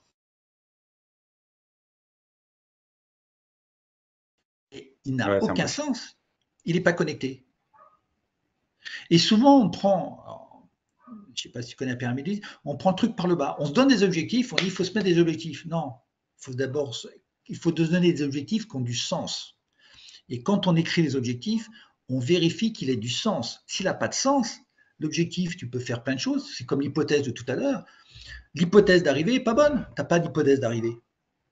Tu as une hypothèse de départ qui est un objectif, mais l'arrivée, euh, tu le fais, euh, voilà. Donc ça n'a pas de sens. Et c'est pour ça que c'est important c'est pas de changer ton fonctionnement, c'est que ton hypothèse de départ et d'arrivée sont pas bonnes. Donc tu peux faire tout ce que tu veux, ça n'a pas de sens. C'est pas connecté. C'est pour ça que quand moi je prends, j'accompagne les gens, je leur fais le point de départ, le point d'arrivée, passion, vision. Et après, tu mets tout ce que dedans, ça a du sens. Et si ça n'a pas de sens, je leur dis, mais supprimez, ça, vous, ça va vous dégager du temps. C'est ça qui est important. Et une fois que c'est aligné, ça, passion-vision, tu vas faire des missions, les grandes missions, la stratégie. cette année, j'ai une stratégie. Et après, de sa stratégie-là, tu as fait tes objectifs. Mais tes objectifs sont alignés avec ta stratégie, tes missions et ta vision, et tes passions. Tout est aligné, tout a du sens. Ça, c'est super important. Le pourquoi et pas le comment. Et tout le temps, on part du comment. Non, il faut partir du pourquoi, le sens. Et burn-out, les... ouais, le sens, le sens, le sens, le sens. Et on peut, on peut l'avoir assez rapidement, hein. mais c'est un vrai travail, c'est un vrai travail, le sens. Ouais. C'est ok, est-ce que j'ai répondu à ta question? Oui, oui, merci, merci beaucoup. De rien. Alors, euh, quelqu'un voulait intervenir, tu peux y aller si tu veux faire un, commentaire. Euh, c'était moi peut-être? Oui. En fait, moi je, dirais que c'est euh, l'ennui qui tue toute perspective de tout à chacun. Donc si on s'ennuie dans ce qu'on fait, ben, forcément on ne va pas donner, on est stérile. Voilà. Donc ben, j'ai bien noté patient vision. Oui, d'abord, il faut partir de sa passion pour euh, arriver à sa vision. Et puis, euh, voilà, partir du pourquoi euh, pour arriver au comment. Ben, ce que j'avais à dire. C'est en fin de compte de travailler sur l'énergie. Passion, c'est le niveau haut qui est dans ton corps. La vision, c'est l'inspiration. Quand tu es inspiré, tu as envie de faire des choses. Deuxième niveau, énergétique. La troisième, c'est la motivation. Et une des motivations les plus importantes, c'est l'ambition. Là encore, cet après-midi, j'avais quelqu'un, pas d'ambition. Je dis, hop, hop, hop, hop, hop, hop, hop, hop. Non, c'est pas de l'ambition, ça. Non, non, non, non, non, je l'ai pris. Voilà. Et une fois que tu as passion, inspiration, motivation multiple. Rien ne peut vous arrêter. Hein. Et après, euh, ouais, l'objectif, il, a du sens et puis on y va. Même, l'énergie, elle est avec toi. C'est qu'on, euh, quand tu as tout ça, même l'énergie, elle te pousse à ce que euh, tu arrives à ta vision. Il faut toujours visualiser. Hein. Parce que nous sommes faits de 99,99% d'énergie. Et on se focalise tous sur la matière, les objectifs, euh, l'argent et tout ça. Alors qu'il faut se focaliser sur l'autre. Pour avoir, voilà, et quand on se focalise même sur 1% sur l'énergie, on a plus de résultats que 100% sur la matière. Exact. Je referme la parenthèse. Je suis vraiment d'accord. Euh, ambition, oui, l'ambition, c'est, ça fait partie de l'ego hein, dans le développement personnel. C'est pas quelque chose qui est mauvais. Hein, c'est quelque chose qui nous nourrit. Donc l'ambition, c'est bien. Il ne faut pas confondre avec l'égocentrisme et tout. Et ça, je ferai peut-être quelque chose. L'ambition est important avec la vision, Hein, quand vous alignez, vous, équilibrez la vision et l'ambition, l'âme et l'ego, vous développez le charisme. Donc si vous enlevez l'ambition, ben, vous n'êtes pas charismatique. Si vous avez trop d'ambition et pas de vision, vous n'êtes pas charismatique. Et les gens charismatiques, ils sont respectés, enfin, on les respecte. Hein, ils disent, ah, il a du charisme. Je me permets de vous interrompre. Au fait, euh, pour, euh, pour, pour, atteindre euh, son soi-même, il faut d'abord tuer son ego. Non, il ne faut pas le tuer. Ah non, non, non. L'ego est nécessaire. Ah non, non, l'ego est nécessaire. Mais bon, euh, au fait, ça, euh, ça peut vous mener. Euh, non. Voilà, Attention, là, là, là, un jour, je vais faire un truc là-dessus. L'ego est nécessaire. L'ego, l'ego est important quand il est au service de plus grand que soi. L'ego d'abord. Oui, non, mais il ne faut pas le tuer. L'ego, euh, surtout pas le tuer. Euh, mm, bah alors, il faut le, dénigrer, on va dire. Non, non, non. Il faut, il faut le mettre en parenthèse. Non, parce que c'est euh, lui qui joue. En tout cas, ma vision des choses. Allez-y, dites-moi. Non, non. L'ego fait partie de l'équilibre. L'ego est intérieur, l'âme est à l'extérieur. Et l'un ne va pas sans l'autre. Sauf que l'ego, il faut qu'il soit au service de plus grand que soi. Et en étant plus grand que soi, en contrepartie, l'ego va être nourri. Si l'ego n'est pas nourri, on meurt. Non, c'est super important ça. Hein. Vous avez raison, mais il faut avoir euh, il faut pas confondre. non, il faut pas confondre l'ego et l'égocentrisme. Non. En fait, il faut, il, faut, il faut le faire taire. Non, il ne faut pas le faire taire, il faut qu'il s'exprime, l'ego. Mais pour, mais pour arriver à, à, faire ceci, euh, il faut vraiment avoir beaucoup d'expérience, beaucoup d'expertise, beaucoup de coups durs de la vie. Euh, sinon, il vaut mieux le tuer. Non, non, non, non, non. Non, non, non, Vas-y, Patrice, si tu veux. Patrice Alain, si tu veux. Euh. Ah, tu veux partir Ok, ciao. Non, il ne faut pas confondre l'ego et l'égocentrisme. Quand l'ego est au service de soi-même, c'est pas salutaire. Quand l'ego est au service de plus grand que soi, c'est-à-dire quand l'ambition est au service d'une vision, ça c'est salutaire. Mais il faut d'abord aller sur l'âme pour nourrir l'ego. Mais l'ego, c'est important pour le développement de tout le monde. Tout le monde. Oui, bien sûr, l'ego, il existe, il est là, il ne eh ben, jamais. Hein. Mais il faut le contrôler, on va dire, pas le tuer. il ne faut pas le contrôler. Il faut juste, faut juste le nourrir. Il faut qu'il soit au service de plus grand que soi. Mhm. Non, non, l'ego, c'est important. T'as plus d'ego, euh, euh, c'est un peu pour ça qu'à un moment donné, Steve Jobs, il a dégagé d'Apple. Hein. C'est parce que son ego, il n'y en avait pas. Hein. Donc, euh, non, non, hein, attention. L'ego peut nous jouer plein de mauvais tours. Donc, autant ah, le mettre en, stand-by. Moi, je préfère le laisser en stand-by. Comme ça, j'avance bien dans ma vie. Mais, mais, mais idéalement, idéalement, mon ego devrait être avec moi.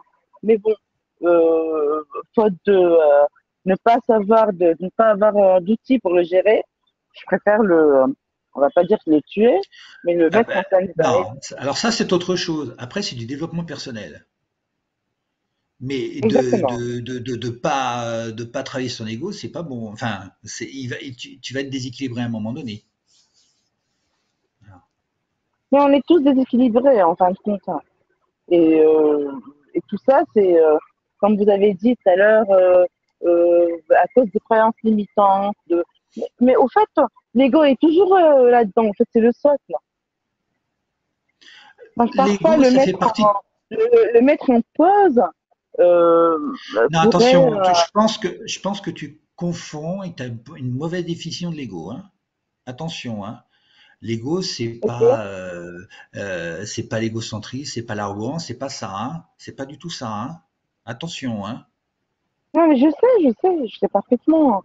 En fait, l'ego, c'est, euh, au, fait, c'est ben, les pièges qui, qui font quand, qui fait que on tombe de temps en temps. C'est l'ego qui fait que.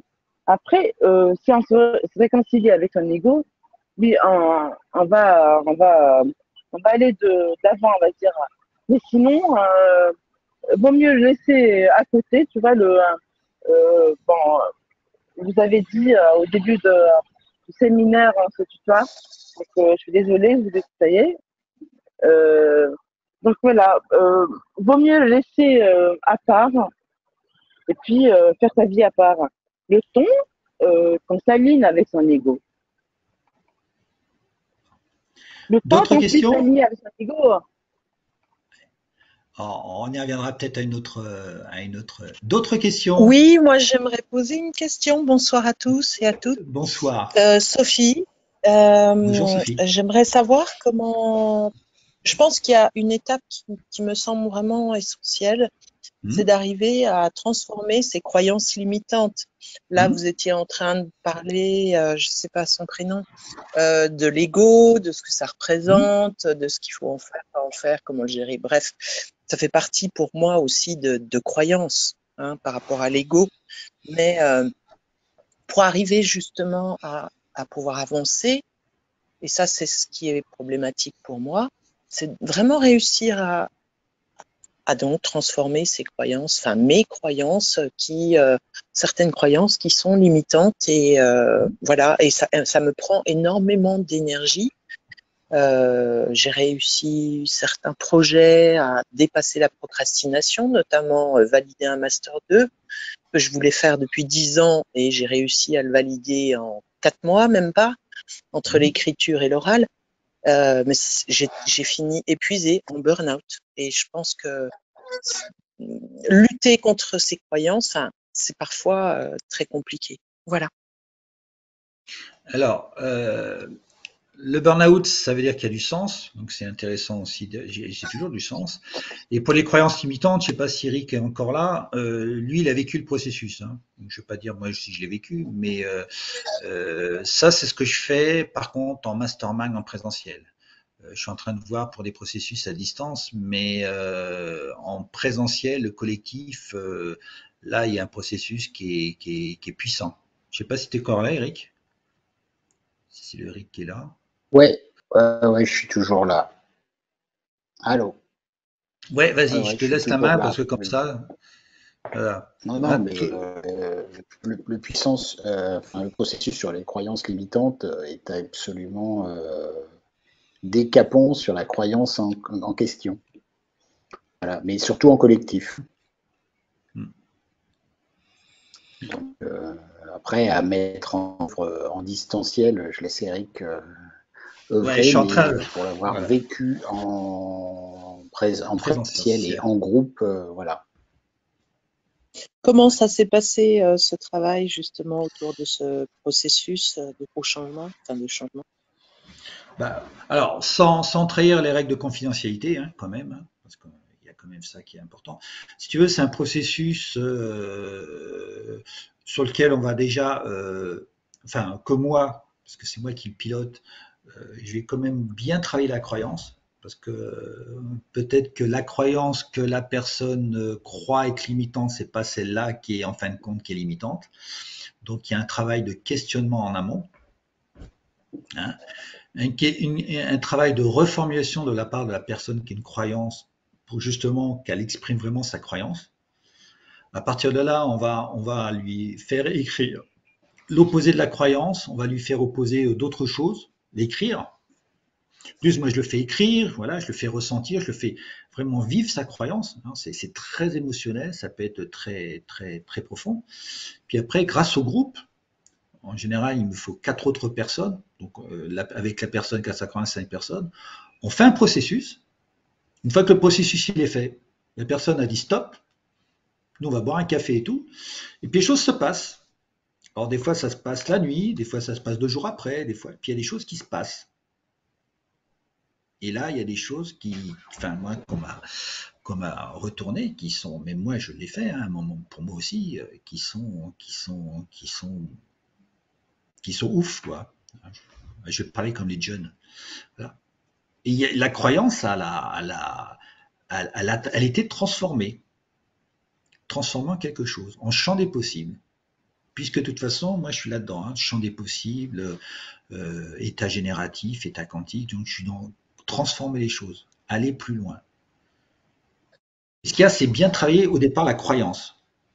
Parce que souvent la croyance, euh, notamment la croyance, elle n'était pas, pas là comme il exprimait au départ.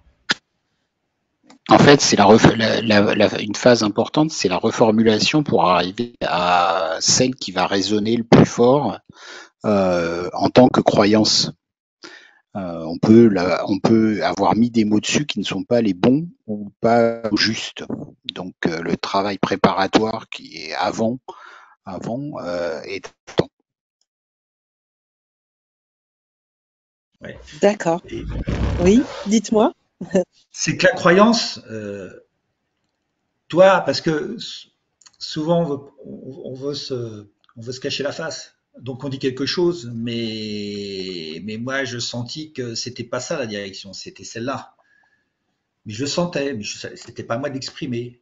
Donc j'ai travaillé, questionné et tout, et puis à un moment donné, euh, et quand, quand, quand, quand, ça a été là, il y a, de toute façon, le corps il il, ment pas, hein, euh, tac.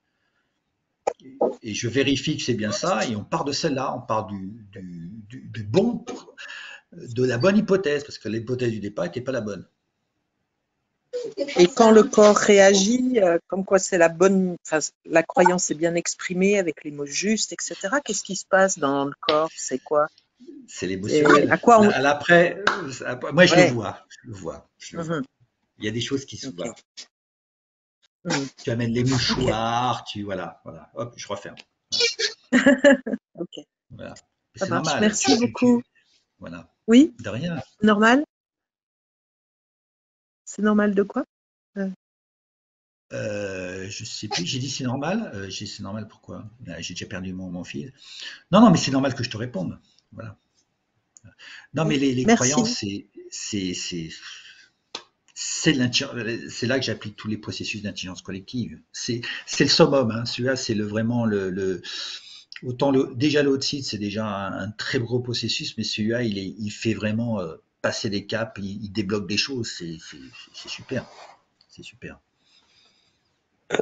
Euh, bonsoir. Oui, oui, David. Merci. Oui, pardon. Bonsoir. Euh, excusez-moi, je me permets une, petite remarque par rapport à la, première personne qui est intervenue. Je ne sais pas si elle est toujours présente. Euh, en fait, Ah, bah, oui, si. le, non, le, j'ai mal entendu, pardon. Vas-y, vas-y. Euh, oui, donc en fait, euh, par rapport à la première personne qui est intervenue euh, concernant les, questions, il a parlé d'un objectif d'un million cinq. Après, il n'a pas nécessairement détaillé, mais il, a fait la remarque comme quoi c'était c'était un objectif qui lui paraissait inatteignable, ce qui peut être paradoxal puisqu'il s'est donné cet objectif-là. Mais je me je me disais peut-être peut-être qu'il pourrait définir des étapes, c'est-à-dire 15, étapes à hauteur de 100 000 euros. Euh, après, en sachant qu'il a bien dit qu'il avait les, outils, euh, en l'occurrence sûrement les compétences pour développer euh, son projet et atteindre son but, peut-être que ça peut, ça peut être un, moyen pour lui de, se simplifier la tâche. Ouais, mais tu vois, là, en questionnant, il y a le sens. Hein. Le sens, il manque quelque chose dans le sens. Oui, tout à fait, mais en sachant qu'il nous a, il n'a pas détaillé son projet après euh, pour, différentes raisons. Euh, mais j'ai vraiment, euh, bah, en tout cas, j'ai remarqué qu'il avait parlé de mmh. parler de la valeur, la valeur monétaire. Après, est-ce que, est-ce que pour lui la, notion de sens, c'est justement atteindre cette richesse matérielle, ou alors c'est atteindre une autre richesse qui peut être d'aider les, les, personnes autour de lui au travers son projet? Mais en tout cas, sachant qu'il euh, il, exprimait le fait d'avoir les outils pour le faire, mais il n'arrivait pas à se lancer, de peut-être se mettre des, milestones en fait pour euh, pour atteindre les choses par étapes, ou alors peut-être de trouver euh, des gens autour de lui qui pourraient l'amener à, à, à, partager son projet, à, à, avoir une vision commune pour pour atteindre cet objectif-là, qui sera peut-être atteint dans six mois comme dans dix ans. Mais voilà, je voulais faire cette remarque puisque il avait vraiment parlé de valeur financière. Oui, il a parlé d'une valeur matérielle, alors que la vision est une valeur immatérielle. immatérielle. alors, moi, je me permets d'intervenir.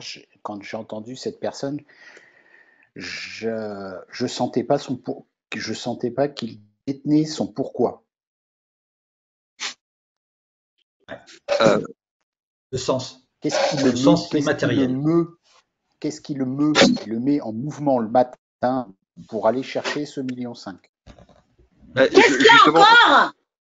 Hop, hop, hop, fermez les Mais écrans. de manger n'importe quoi? Hop, hop, hop, hop, fermez votre micro derrière.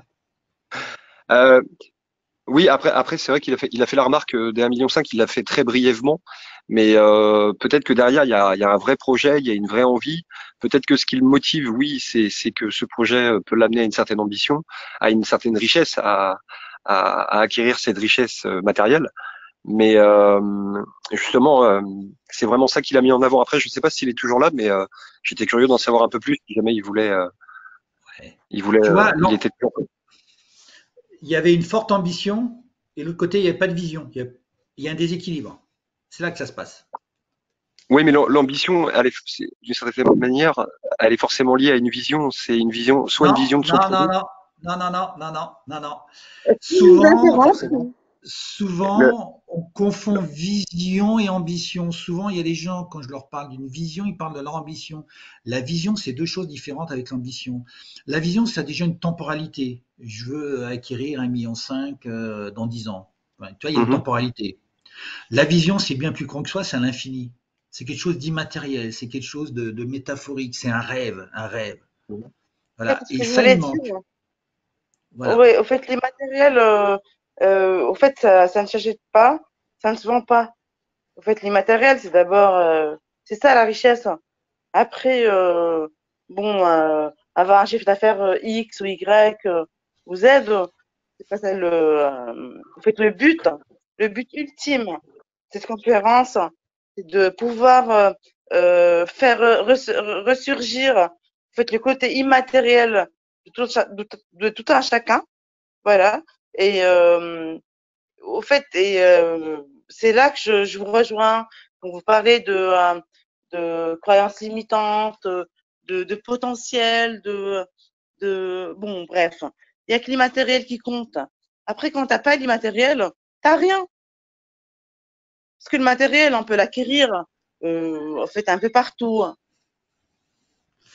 Mais l'immatériel, euh, c'est inculqué ou alors tu dois le, tu dois faire une formation pour l'acquérir. Et je crois que c'est euh, votre mission. Vous êtes là pour euh, pour donner euh, aux, aux, gens de, au fait des valeurs immatérielles.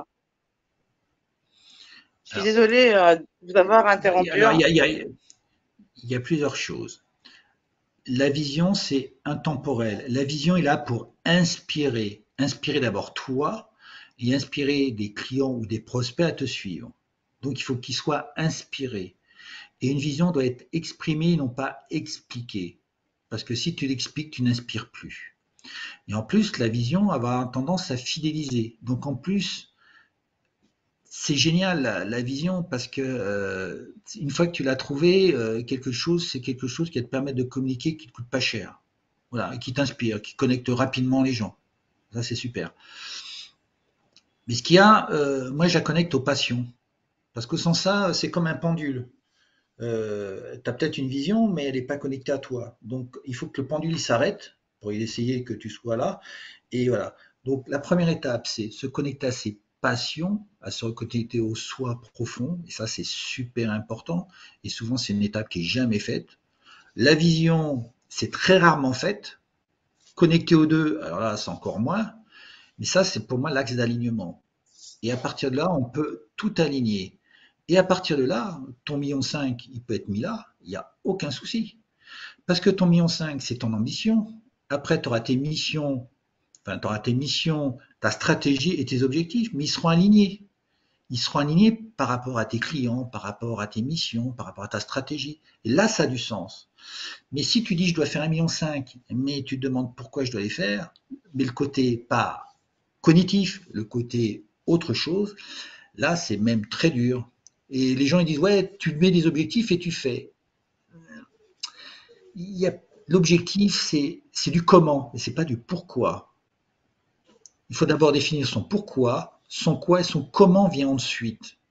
Et souvent, on part sur le comment. Ouais, j'ai des objectifs, je vais faire et tout. Ouais, mais euh, les gens qui ont un fort comment, ils peuvent faire quelque chose, puis à un moment donné, ça stagne. Mais les gens qui ont le, pourquoi, ils démarrent. Les gens qui ont les deux, c'est là, c'est Apple, par exemple. Steve Jobs avait le pourquoi et euh, c'est Wozniak, il avait le comment. Et les grandes réussites, il faut les deux. Hein, parce que souvent, moi, je suis plutôt sur le pourquoi, et donc euh, je vais chercher le comment. Enfin, voilà. Enfin, voilà. Enfin, j'ai les deux maintenant. Mais c'est d'avoir ces, deux, ces deux mains, le pourquoi et le comment. Et là, on peut faire des grandes choses. Ça qui est important. D'autres remarques, d'autres questions? Bonsoir. Oui. Oui, bonsoir Eric et tout le monde. Euh, enchantée. En tout cas, je, tenais à vous remercier avant euh, euh, remarque. Euh, je me permettais d'intervenir parce que j'ai retenu surtout de ce webinaire le pourquoi. En, plus des petits commentaires, je me suis permise de, de rajouter. le pourquoi, en fait, moi, je suis euh, je suis une femme en reconversion qui complète euh, euh, son, master à bientôt 40 ans. Je, suis retournée à l'école et je suis mariée, deux enfants. Je vous présente la situation parce que ça rejoint le pourquoi. Aujourd'hui, quand je me lève le matin, malgré ce challenge, le pourquoi, en fait, est une motivation énorme. Et de ce webinaire, en fait, vous rejoindre sur ce point, ça m'aide aussi dans, euh, dans, cette, dans cette vision. Euh, en tant que maman, quand je comprends le pourquoi de ce que font mes enfants, ça m'aide à leur, les pardonner, à les orienter, à, à faire beaucoup de choses. Et ce webinaire me conforte vraiment dans cette, dans cette idée et puis mon expérience, en fait, tout ça pour dire, euh, de par mon témoignage, le pourquoi m'aide énormément. Le comment, je vais, euh, compléter par la suite pour euh, trouver un équilibre et encore plus de potentiel. Mais euh, le pourquoi est une clé immense. Donc, tout ça pour vous dire merci Eric et les différents échanges avec les, différents intervenants. Voilà. Merci Nancy. Oui, le pourquoi. Hein. Enfin, gens qui me connaissent, à chaque fois, c'est le pourquoi. Hein cet après-midi, euh, le pourquoi était là. Alors il y a un déséquilibre dans le pourquoi pour une, et puis l'autre, euh, je l'ai recalé sur le pourquoi. Et la décision, elle va être très simple pour une, c'est j'arrête avec telle chose, et puis l'autre, eh ben, je fais quelque chose pour, euh, pour, pour m'enrichir du pourquoi. Voilà. Et en, une, en dix jours, elle a, elle a, changé complètement parce qu'elle a trouvé son pourquoi. En dix jours. Une séance en distanciel. Voilà. Et. Dites-moi, comment trouver son. Hein. Comment trouver son, son comment trouver son pourquoi en fait? Alors c'est un processus.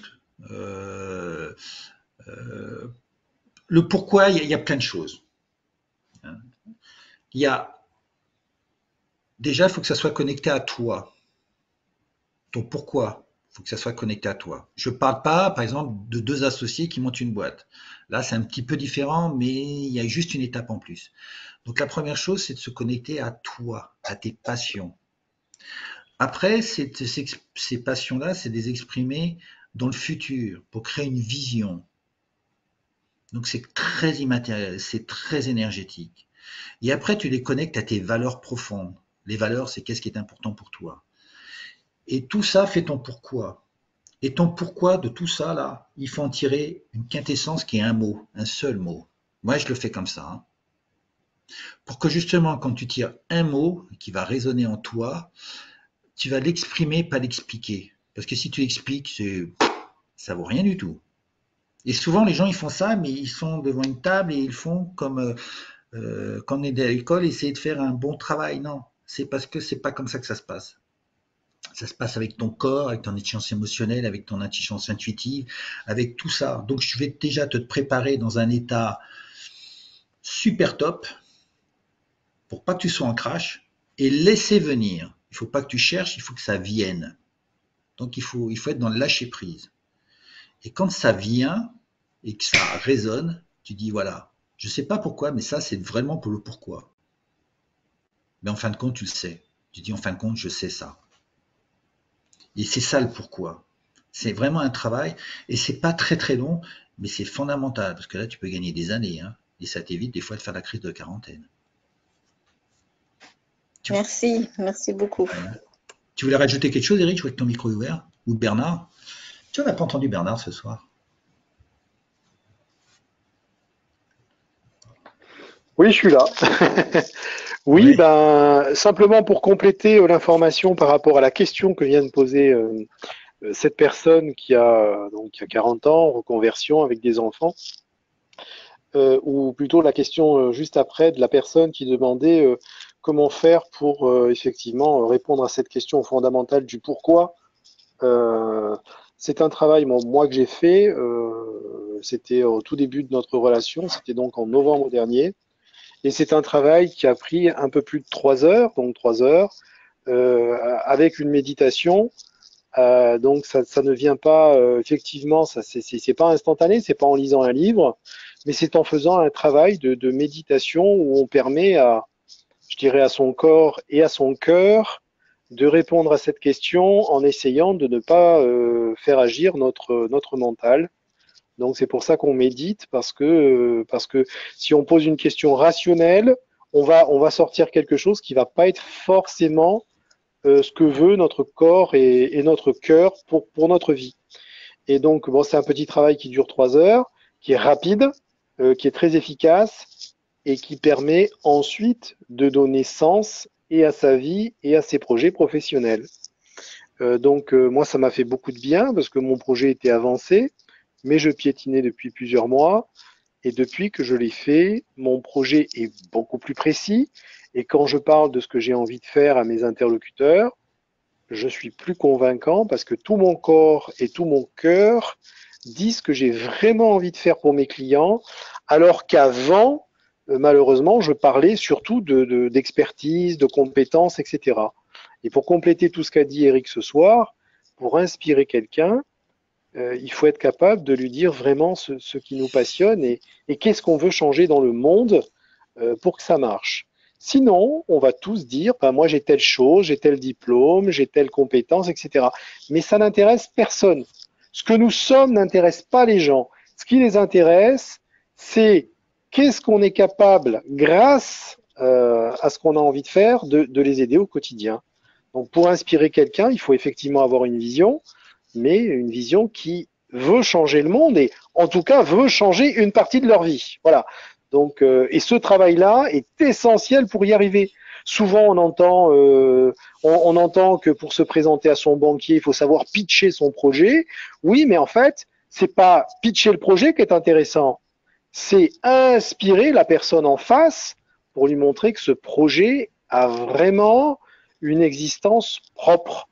Et, c'est très difficile, mais on peut y arriver en quelques heures avec Eric. Voilà. Donc, je, termine là-dessus pour laisser les, autres participants, mais en tout cas, moi, ça m'a été d'une grande utilité euh, à tous les niveaux, euh, que ce soit pour, euh, rédiger mon projet, faire mon site, rencontrer des gens et, et être finalement plus convaincant parce qu'il y a besoin que de trois phrases, mais trois phrases pour les faire accoucher, ben, faut vraiment triturer au fin fond de son corps et pas au fin fond de sa tête. C'est un peu différent. Voilà. Je laisse les autres parler et, et voilà. Je vous souhaite à oui, tu, et puis maintenant, tu ne cherches plus à convaincre. Tu veux juste t'inspirer. Tu Absolument. veux juste t'inspirer. C'est de passer oui. d'essayer de convaincre, résistance, à essayer d'inspirer, oui. venez vers moi. C'est juste oui, de changer le truc. Oui, oui, oui, oui. Exact. Quand tu convaincs, tu forces. Quand tu inspires, tu ne forces pas. C'est ça. Et les gens, ils veulent pas ça. Ils veulent pas avoir en face d'eux des commerciaux. Euh, ils veulent avoir des vraies personnes et, même s'ils n'ont pas forcément besoin de ce qu'on propose, ben en tout cas, ils vont essayer de le promouvoir autour d'eux. Et c'est ce que nous recherchons finalement. On n'a pas envie d'être des commerciaux, on a envie d'être des gens qui aident sincèrement et authentiquement nos clients. Euh, voilà.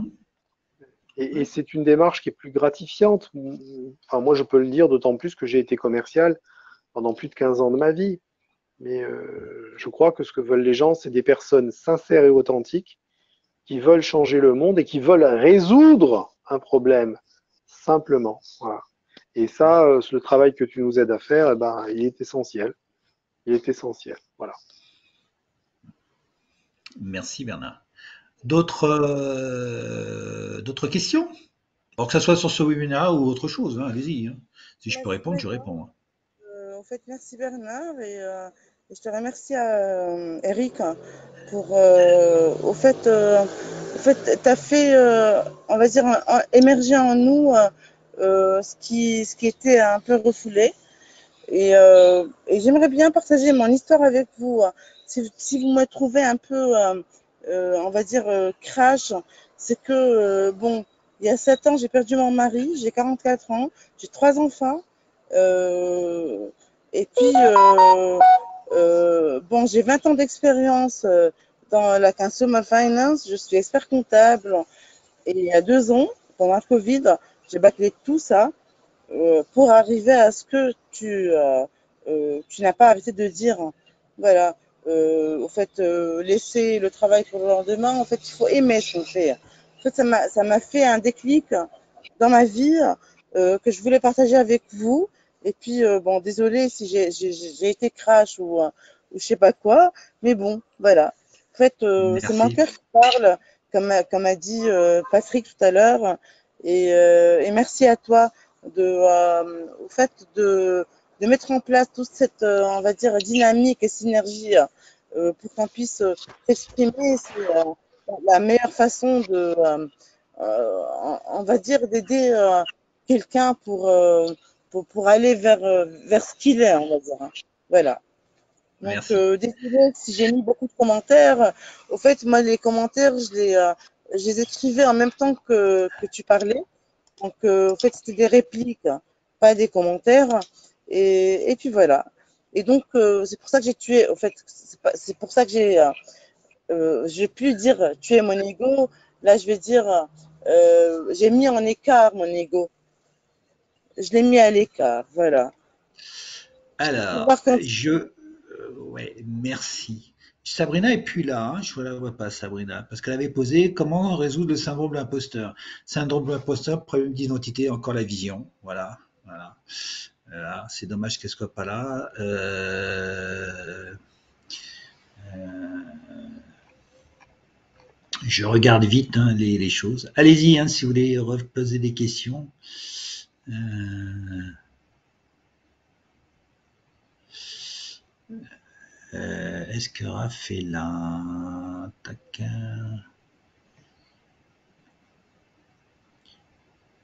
Si Raph il est encore là? Je vois qu'il a mis un truc. Ah, t'as pas de micro. Ah ok, c'est pour ça, ok. Oui, euh, on n'a plus besoin de pub pour faire de la. Alors, c'est pas que tu n'as plus besoin de faire de la pub, mais tu vas communiquer différemment. Une fois que tu as, euh, comme Bernard euh, ou comme Eric, euh,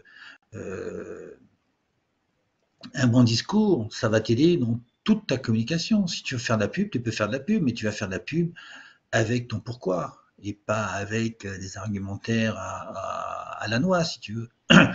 Donc, une fois que tu as ton bon message, tu vas inspirer. Comment vous êtes venu me voir, moi? Comment vous êtes là ce soir? Comment vous êtes venu? Quelque part, vous avez inspiré, vous êtes venu. Pour moi, c'est à travers LinkedIn.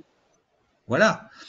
Euh, donc, j'ai pas, j'ai pas, j'ai pas fait le forcing. Voilà. Donc, euh, vous avez quelque chose qui vous a inspiré, vous êtes venu. Donc j'ai fait de la, pub, enfin j'ai fait de la com. J'ai pas fait de pub, hein. j'ai fait de la com. Et euh, vous êtes venu. Voilà. Donc c'est ça l'inspiration. Nancy, motivation. Pourquoi tu mets motivation? Tu réponds peut-être à quelqu'un, peut-être j'ai peut-être pas suivi. Voilà. Excusez-moi, je me mettais justement dans un endroit plus approprié pour parler, pour pas qu'il y ait du bruit. Ah. Euh, en fait, j'avais, oui, marié deux enfants. Euh, je disais motivation parce que euh, euh, le l'intitulé, voilà, l'intitulé de du webinaire procratisation, excusez-moi, me parlait beaucoup. de mon profil, en fait, c'est tout ce que je ne voulais pas. Et ça m'a motivée un mot, en fait, m'a motivé dans euh, tout ce que je ne voulais pas. Le pourquoi, euh, pour répondre au pourquoi je suis ici ce soir, c'est ce mot euh, procratisation que je ne voulais absolument pas. Alors je cherchais en fait, je cherchais tout élément qui pouvait m'enrichir et m'aider et comment ne pas procratiser. C'était ça ma motivation. Et la procrastination est un sujet qui est aligné, hein, si je reprends un petit peu tout à l'heure, qui est aligné avec mon propre projet, parce que si les gens, je veux les faire épanouir, s'ils procrastinent, ils vont pas s'épanouir. Donc, euh, ce travail-là, il va falloir que je, enfin, enfin j'ai des solutions. Mais c'est pour ça que pour les faire épanouir, il va falloir que je les mette en action. Et donc, en action, ça, je sais faire. Donc, ça a du sens. Ça a du sens pour moi. Et donc, ça a du sens pour, les autres. Eh ben oui, ben oui. Voilà. Le sens, on est toujours dans le pourquoi. Hein. on en revient toujours dans le pourquoi. Tout simplement. C'est ça. Les gens qui, qui, qui n'ont pas ce même pourquoi, ils ne sont pas là ce soir. Et c'est OK. Il n'y a pas de souci. Il n'y a pas de souci. Voilà. Mais c'est le sens qui vous a tiré, c'est pas le comment. C'est le pourquoi. C'est ça, le pourquoi encore, encore une fois. Et, euh, ça fait du bien de, euh, même si on se voit pas, c'est ça, c'est un plaisir en fait. Malgré mes contraintes, même si j'étais en retard parce que j'étais un, un, un forum, c'est le pourquoi en fait de naissance à ma connexion malgré le retard. Hmm. C'est C'est juste un plaisir. Eh ben, super. La force du pourquoi. Tiens, la force du pourquoi. Il faudrait, tiens, je vais faire un webinaire, la force du pourquoi. Voilà. D'autres questions, d'autres euh, d'autres choses? Tout est clair? Isabelle, Nadia, Fatima, Issad, Fadima, Omar, Anwar, Darcy, Nancy, Mourad, Sylviane, Patricia, Julia, Ogba, Bernard vient de partir, Raph et Wissi, voilà. C'est gentil, je suis un maître Jedi. Ah, le maître du jeudi. Oh, avec la force du pourquoi. En plus, euh, il y, a des poètes là. Hein. Merci Raph, merci Raph. Le maître du jeudi. Oh, c'est gentil. Avec la force du pourquoi. Eh oui, tiens. Ok. c'est sympa. C'est sympa.